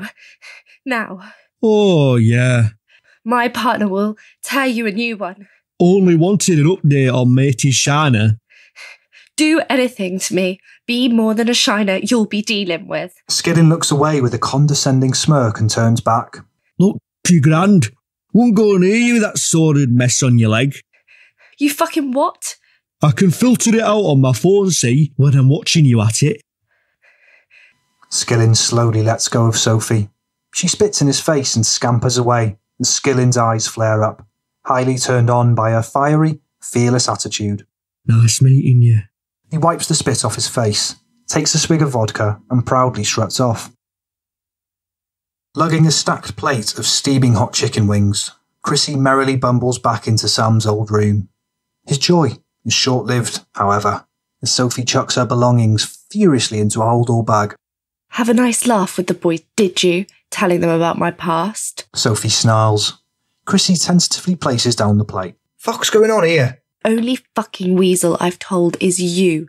They'll all be Googling it now, I bet. Sophie, Satanic Torture, North Wales, and they'll find it. First thing that comes up. Sophie's parents' tendency to ship their only child off during summers wildly backfired after a two month spell at a summer camp run by lackluster, alcoholic mountaineers at 13. They'd let the children do as they so desired after their set morning activity routine while they sat back, chugged buckfast, and smoked hash in the cabin. This negligent behaviour enabled Sophie the chance to sneak off daily, and after a chance encounter with two unassuming lads at Rhyl Skate Park, she was groomed into a satanic cult who burnt their emblem into her leg for initiation. Babe, you've lost me. Get fucked. Giving it all large that you're no longer a rotter and you let some greasy little drip film us fucking. Be exactly why you point me up against that unsightly flag so I can't see their little heads poking through the window filming it. Who are you on about, Soph? Tell me now. It's fine. Just promise that if you make any money from it, that you ping me over a taste. Sophie unloads a barrage of stiff punches, barely moving Chrissy, yet opening cuts above his eye and upper lip. Spend yours at the fucking dentist. Once she starts aiming for his precious teeth, Chrissy grabs Sophie's wrists and lands a savage backhand slap that draws blood from her mouth. Sophie swiftly leaves after spitting blood on and kicking the fridge. While somewhat dismayed, on the forefront of Chrissy's mind isn't the demise of his first stable relationship, nor confusion over the circumstances, but that of how yet another bashed up face will look. With tomorrow's afternoon bistro shift looming, he spends the entire night chain smoking blunts and compulsively checking the bruising level every half an hour. By morning, he makes an executive decision to call up sick. Bistro Eye's owner and manager, Gerald, lies in a state of pure bliss. An aggressive back massage off a Thai masseuse is just what the doctor ordered to kickstart a weekend on the piss at Blackpool Darts. Any glimmer of peace evaporates the second he spots Chrissy ringing, who, despite being a top worker, Gerald simply cannot stand. Not only down to the constant arse licking, but also because of his own fragile ego. Gerald feels routinely upstaged by Chrissy and his desire to dominate the room through humour and charisma. In truth, he's not stopped kicking himself for failing to lay the lad off after two weeks of probation. Eye infection. Gerald mutters with a colossal scowl. He raises his hand, and the masseuse stops digging into his back. I suppose. It won't look great, will it? I do hope you've been keeping a hygienic home. Self inflicted, I bet. Unprofessional, if you ask me. Skive timing could not be worse. Sporting a classic self shaved grade one all over hairdo, Chin perches eagerly by Chrissy's door, having snuck off from Mikey's room, listening in on the entire conversation while carefully sipping a bottle of Beck's. First shift and he's by himself? Chrissy says in a panic. Chin gleefully beams. Wow, uh, well, what I can tell you is that Tuesdays have been proper steady lately. Won't scare him off, I'm sure. Oh yeah, yeah. I'll be giving Graham the ultimate induction as soon as I'm back. Chrissy assures Gerald as Chin swaggers back into the debauchery of the kitchen's 48 hour deep sash. Warren, Brandon, Jasmine, and her industrial, fierce 17 year old friend Cody sit around a table at Bistro I. All are dressed in uncharacteristically smart clothing chinos and crew neck knits for the lads, and respectable dresses for the girls. Warren and Brandon have their hair gel to the side in pathetic attempts at comb overs. They pick at their chicken wing starters, of which there are eight servings as well as four apiece of chips and onion rings, and devour their 750 milliliter bottles of Leffe. With all used to Lidl Skippy piss quality beer, two bottles of 7% Leffe each already has them tipsy, loud and abrasive. Catalogue of botched pint pouring attempts has left the tidy tablecloth with a plethora of stains. Warren meticulously rolls a fag from the crumbs of his tobacco pouch, dropping most of the dust into the slowly drying beer stains. Their ingenuous, lanky waiter sporting a long blonde side fringe edges nervously towards their table. Give me the red salt, now. Cody demands as she reaches over the table and knocks over Brandon's Leffe. Cody, fucking mong, man. Brandon shouts before quickly simmering down as Graham approaches. Graham, how are you, lad? Jasmine theatrically asks. Well, this will no doubt be of uh, disappointment, but we are out of peri peri chicken. Warren slaps the table and hangs his head in his hands. No way! Knew something like this would happen. Never has Warren had anything else bar chicken from a restaurant before. Something he doesn't particularly feel strongly about changing anytime soon. Don't know anything else on the menu, though, no. Brandon carefully examines the menu before blowing out his cheeks and shaking his head. All gonna have to have the lobster Newburgs, Graham Law. He ponders momentarily. You and your fucking Newburgs, man. Eight of them should do. Warren turns to Graham. Don't be bringing me that. Well, issues with our suppliers mean we can only offer two lobster Newburgs per order. Yes! Joke shop. Brandon tosses the menu across the table, knocking two chicken wings off a plate with its corner. Graham cringes at the ever developing chicken grease turning parts of the tablecloth see through. You're a disgrace, Graham. You know that? Jasmine says, snapping Graham out of his OCD induced trance. Gonna have to be four XL kebab burger meals.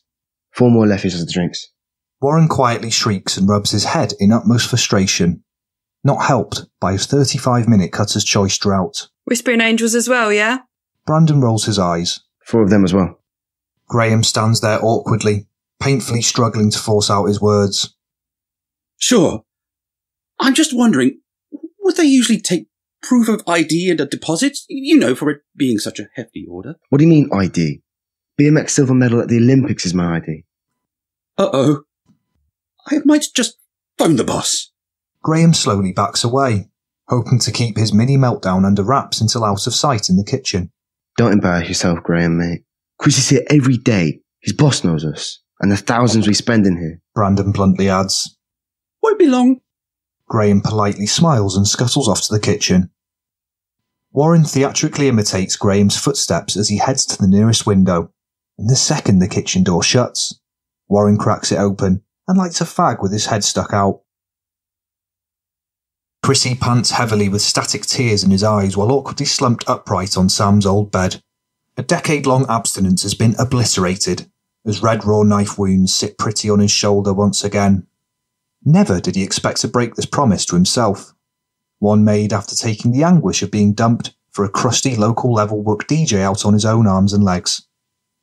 Exhilaration from the cut's sting as sliced, gushing endorphins around his hapless soul has proven somewhat of a temporary release for all the pent up self loathing. When this soon wears off, all he can think about are the early days, back when a self harm routine commenced in the faintest of hopes his mother might hear him grimace and rush to his aid. But she never did. A daily 7pm 30mg Valium sunk down with a few double spiced rums kept her dozy, day and night, with any energy left being shoved into a hyper focus on Don's needs. Chrissy's subtle cries regarding mental health issues stayed well and truly unheard as a result. A situation that only intensified after being moved out to the garden shed at 11. Having already gone all out, Chrissy decides tonight is the time he says, fuck this, and finally caves in on his half year cocaine drought. Months on the relative straight and narrow fly out the window as he bashes up a line next to the bloody knife just used to slice his stricken shoulder. With three college essays due in the coming days, another cash point trip will be necessary, especially at the pace he's flying through this gram.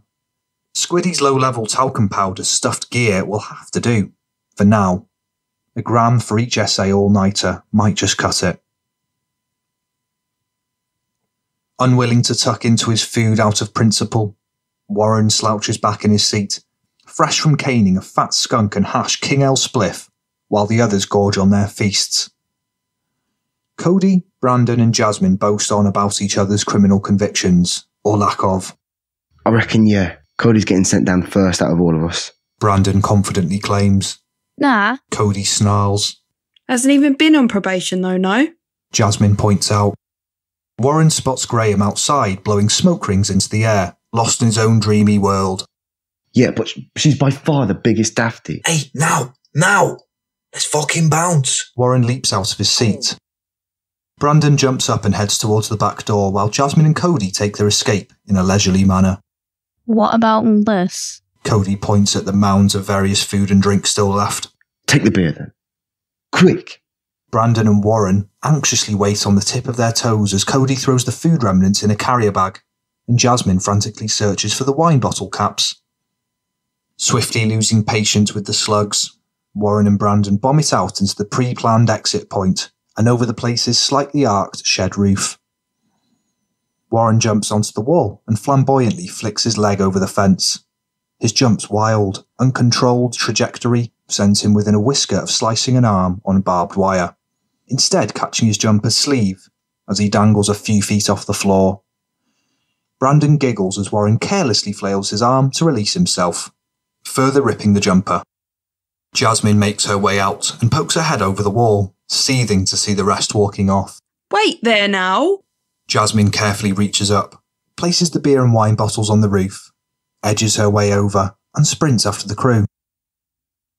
Marshalled by Brandon, they take the dingy, needle ridden pathway over Bangor Mountain to get Gitto's Maesgeirchen Flat, as staunchly instructed. Chin and Skillin nervously await, and after they arrive and outlay their triumph, Chin sits back and lights a cigarello cigar, thoroughly relieved. Reaping havoc at Chrissy's place of work has gone to plan. Boy, did those delinquent drips deliver. They change back into their standard roadman tracksuits, returning the clothing lent to them by Chin and Skillin. All items bought with their MDMA profits from TK Maxx specifically for the job. Following meticulous investigation, Chin's fuming to spot the rip on Warren's borrowed jumper. As Warren and Brandon trundle back in from the bathroom, Chin's waiting with a fierce glare, desperate to throttle the disrespectful dingler. Skillin and Gitto sit back and chuckle, gleefully awaiting the rollicking soon flying Warren's way. What's this? Chin asks, pointing to the rip jumper. Oh, I dunno, yeah. Warren lobs the greasy carrier bag of leftover food on Gitto's bed. How do you not know? Oh, mate, they're gimpy little clothes. Who gives a fuck? He turns away, unable to maintain eye contact. No, Chin slowly takes four packets of fags out of the sleeve as he talks. they're business assets. Chin passes the ravaged sleeve of fags to Warren. Each were promised a full carton for their work. Jasmine and Cody stumble out of the bathroom, now changed into bright pink tracksuits and chugging wine from the bottle. Chin passes a full sleeve of fags over to Brandon, who examines it in awe, having never seen so many fags in one place. Warren stares at the missing packets and grunts. How about, yeah, I have the extra fags for fucking makeup fees and all that grub I bought back for you. Cody confidently proposes. Chin pedantically opens the food bag with the tip of his finger and grimaces at the messy doner meat, chicken wing, and onion ring mashup. Gittos springs up off the bed. That's food. Get that greasy shit off my bed now. Warren lobs the bag out of the window, and its contents sprawls out on the edge of the already unkempt, weedy pavement. Over the next few days, seagulls and pigeons form a mini colony of grateful scavengers, all picking at the food until a street sweeper blows it away. Chapter 6 Bring Keg in. After a few weeks of solid graft, Skillin's accumulated quite the local customer base, especially among the ravers of Bangor, who through word of mouth now flock to bag some of his A-grade MDMA before nights at Hendre Hall and Fat Cat.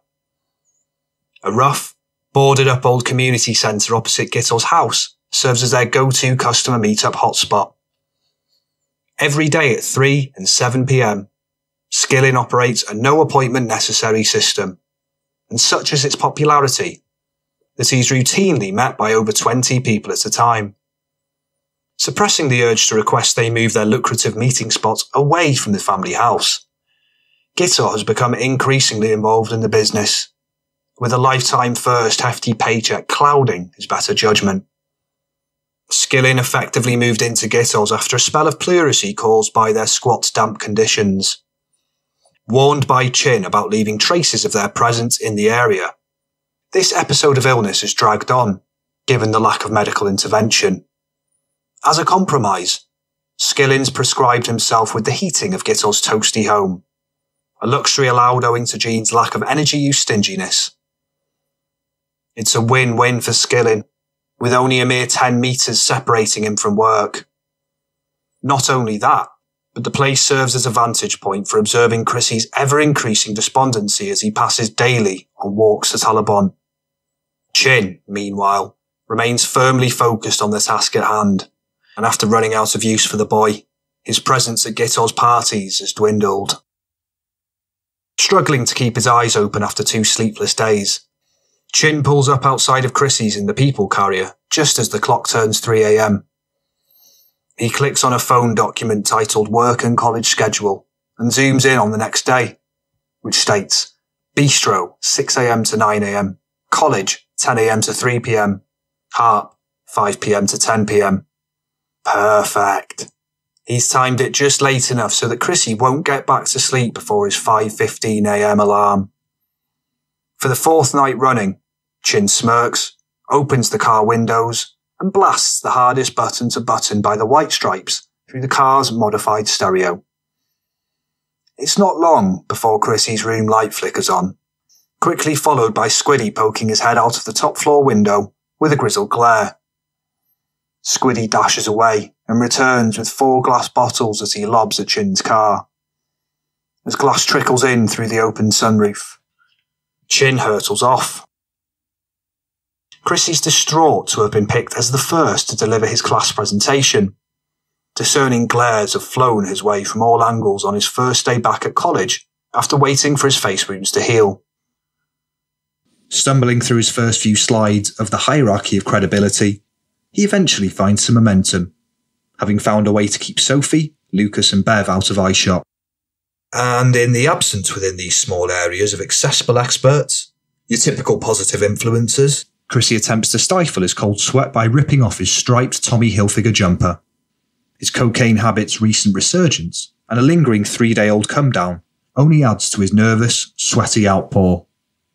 Down to the force of his jumper's removal, he briefly reveals his shoulders, And while most aren't paying attention to the stuttering presentation, Gwen fixates on the fresh, thin red knife wounds.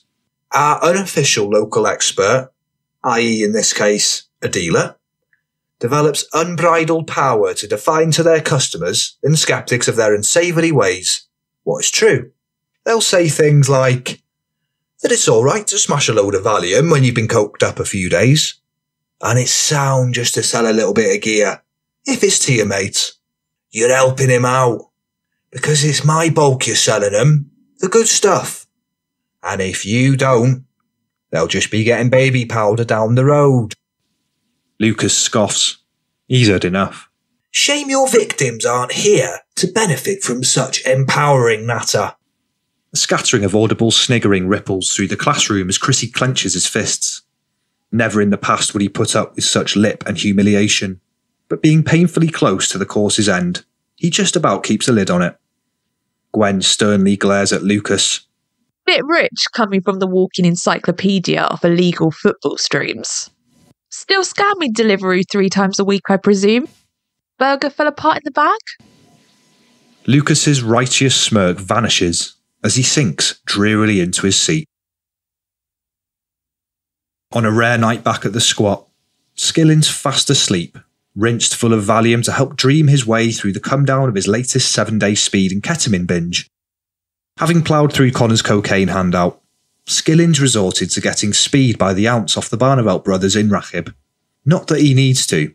They're financially secure for the rest of the mission and have long obtained their primary objective from the dealing, getting their dirty claws into Chrissy's life through his peers.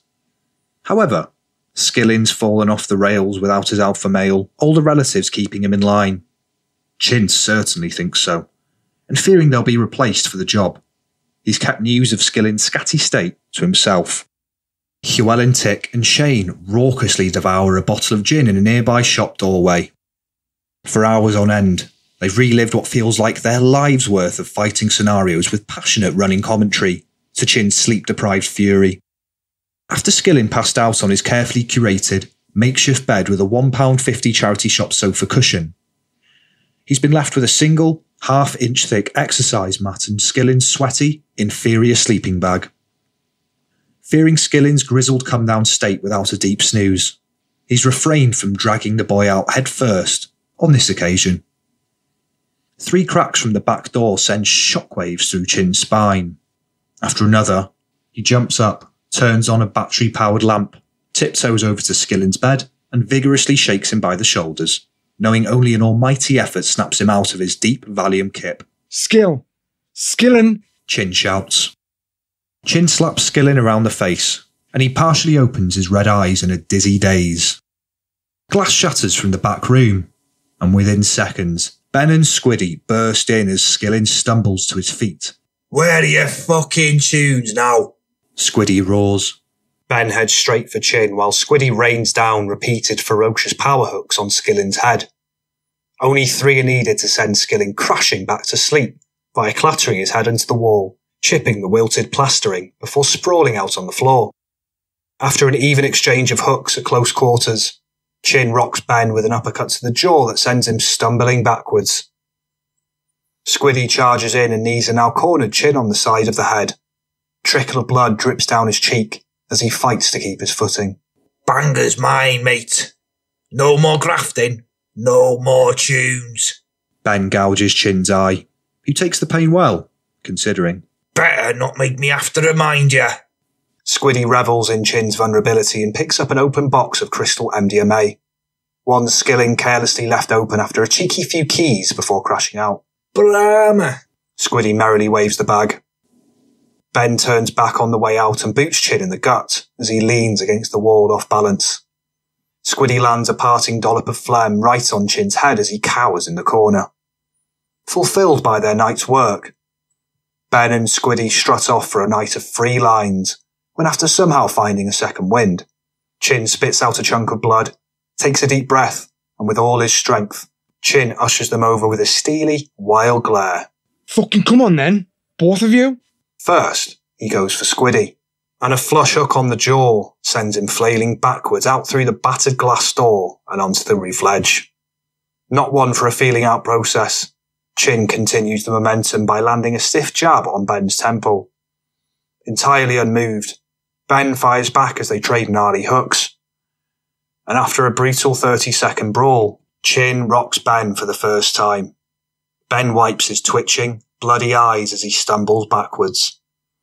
Spluttering and sensing defeat, he whacks out a small knife hidden in his sock. While Ben's exemplary fist fighting skills mean it's rarely brandished, he cannot stand the thought of losing a fight. And having met his match, he stabs Chin in the shoulder. After edging back to the door, Ben runs off, leaving Squiddy sprawled out in the cold, alone. This is a final warning the boys duly take, despite Skillin's Valium clouded memory sparing him all but a few blurry moments of the ordeal. Chin insists that after Skillin sold his last few grams, they're finished with the dealing. To ensure this is adhered to, Chin confiscates Skillin's bank card and limits him to a £40 daily cash allowance. Thudding from the front door suddenly jolts Jean out of a pleasant wet dream. But owing to Gitto's scallywag mates' routine 4am door hammering, she doesn't burst up with any urgency. By the time she's halfway down the stairs in her pink dressing gown, it becomes apparent that these are no scallywags, and she takes caution. A queue of raid policemen gathered behind the door give a 20 second warning to step aside before smashing their way in with a baton. Led by a bald headed, scowling brute of a copper, six fully kitted raid officers storm in all directions of the house while screaming, Police! While somewhat unnerved, she's long been warned by her entire romance reading club regarding the perils of Gitto's recent associations. Knowing it'll soon be over, she puffs on the day's first of many Richmond fags and vacantly stares into space as officers chuck the room's contents over the floor. Her youngest son, Mabon, wobbles in with terror in his eyes. Nolfoni grisau na babi. Dos! Jean urges. Gerald miserably sifts through a mountain of paperwork at his oversized desk after a rare holiday blighted by work related distractions. Chrissy half heartedly knocks on the office door, with Gerald concluding only a knock with more conviction is worth his acknowledgement. After an awkward minute of waiting, Chrissy tentatively enters.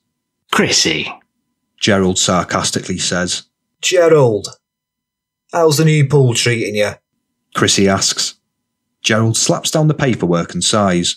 I've been, uh, I've been having some trouble financially. Problems with the bank and that, and, uh, well, see, I'm, uh, I'm proper strapped until payday. Right. Is there a chance at all you could, uh, do me in advance? Gerald grimaces. Well, we've had a bit of a wacky week here, what with the buckets of cancelled reservations. I was only thinking, uh, maybe a wanna, if that's okay. Gerald grits his teeth. Not only that, but over the four days you've had on the sick, we've had no less than four different groups of duck and dive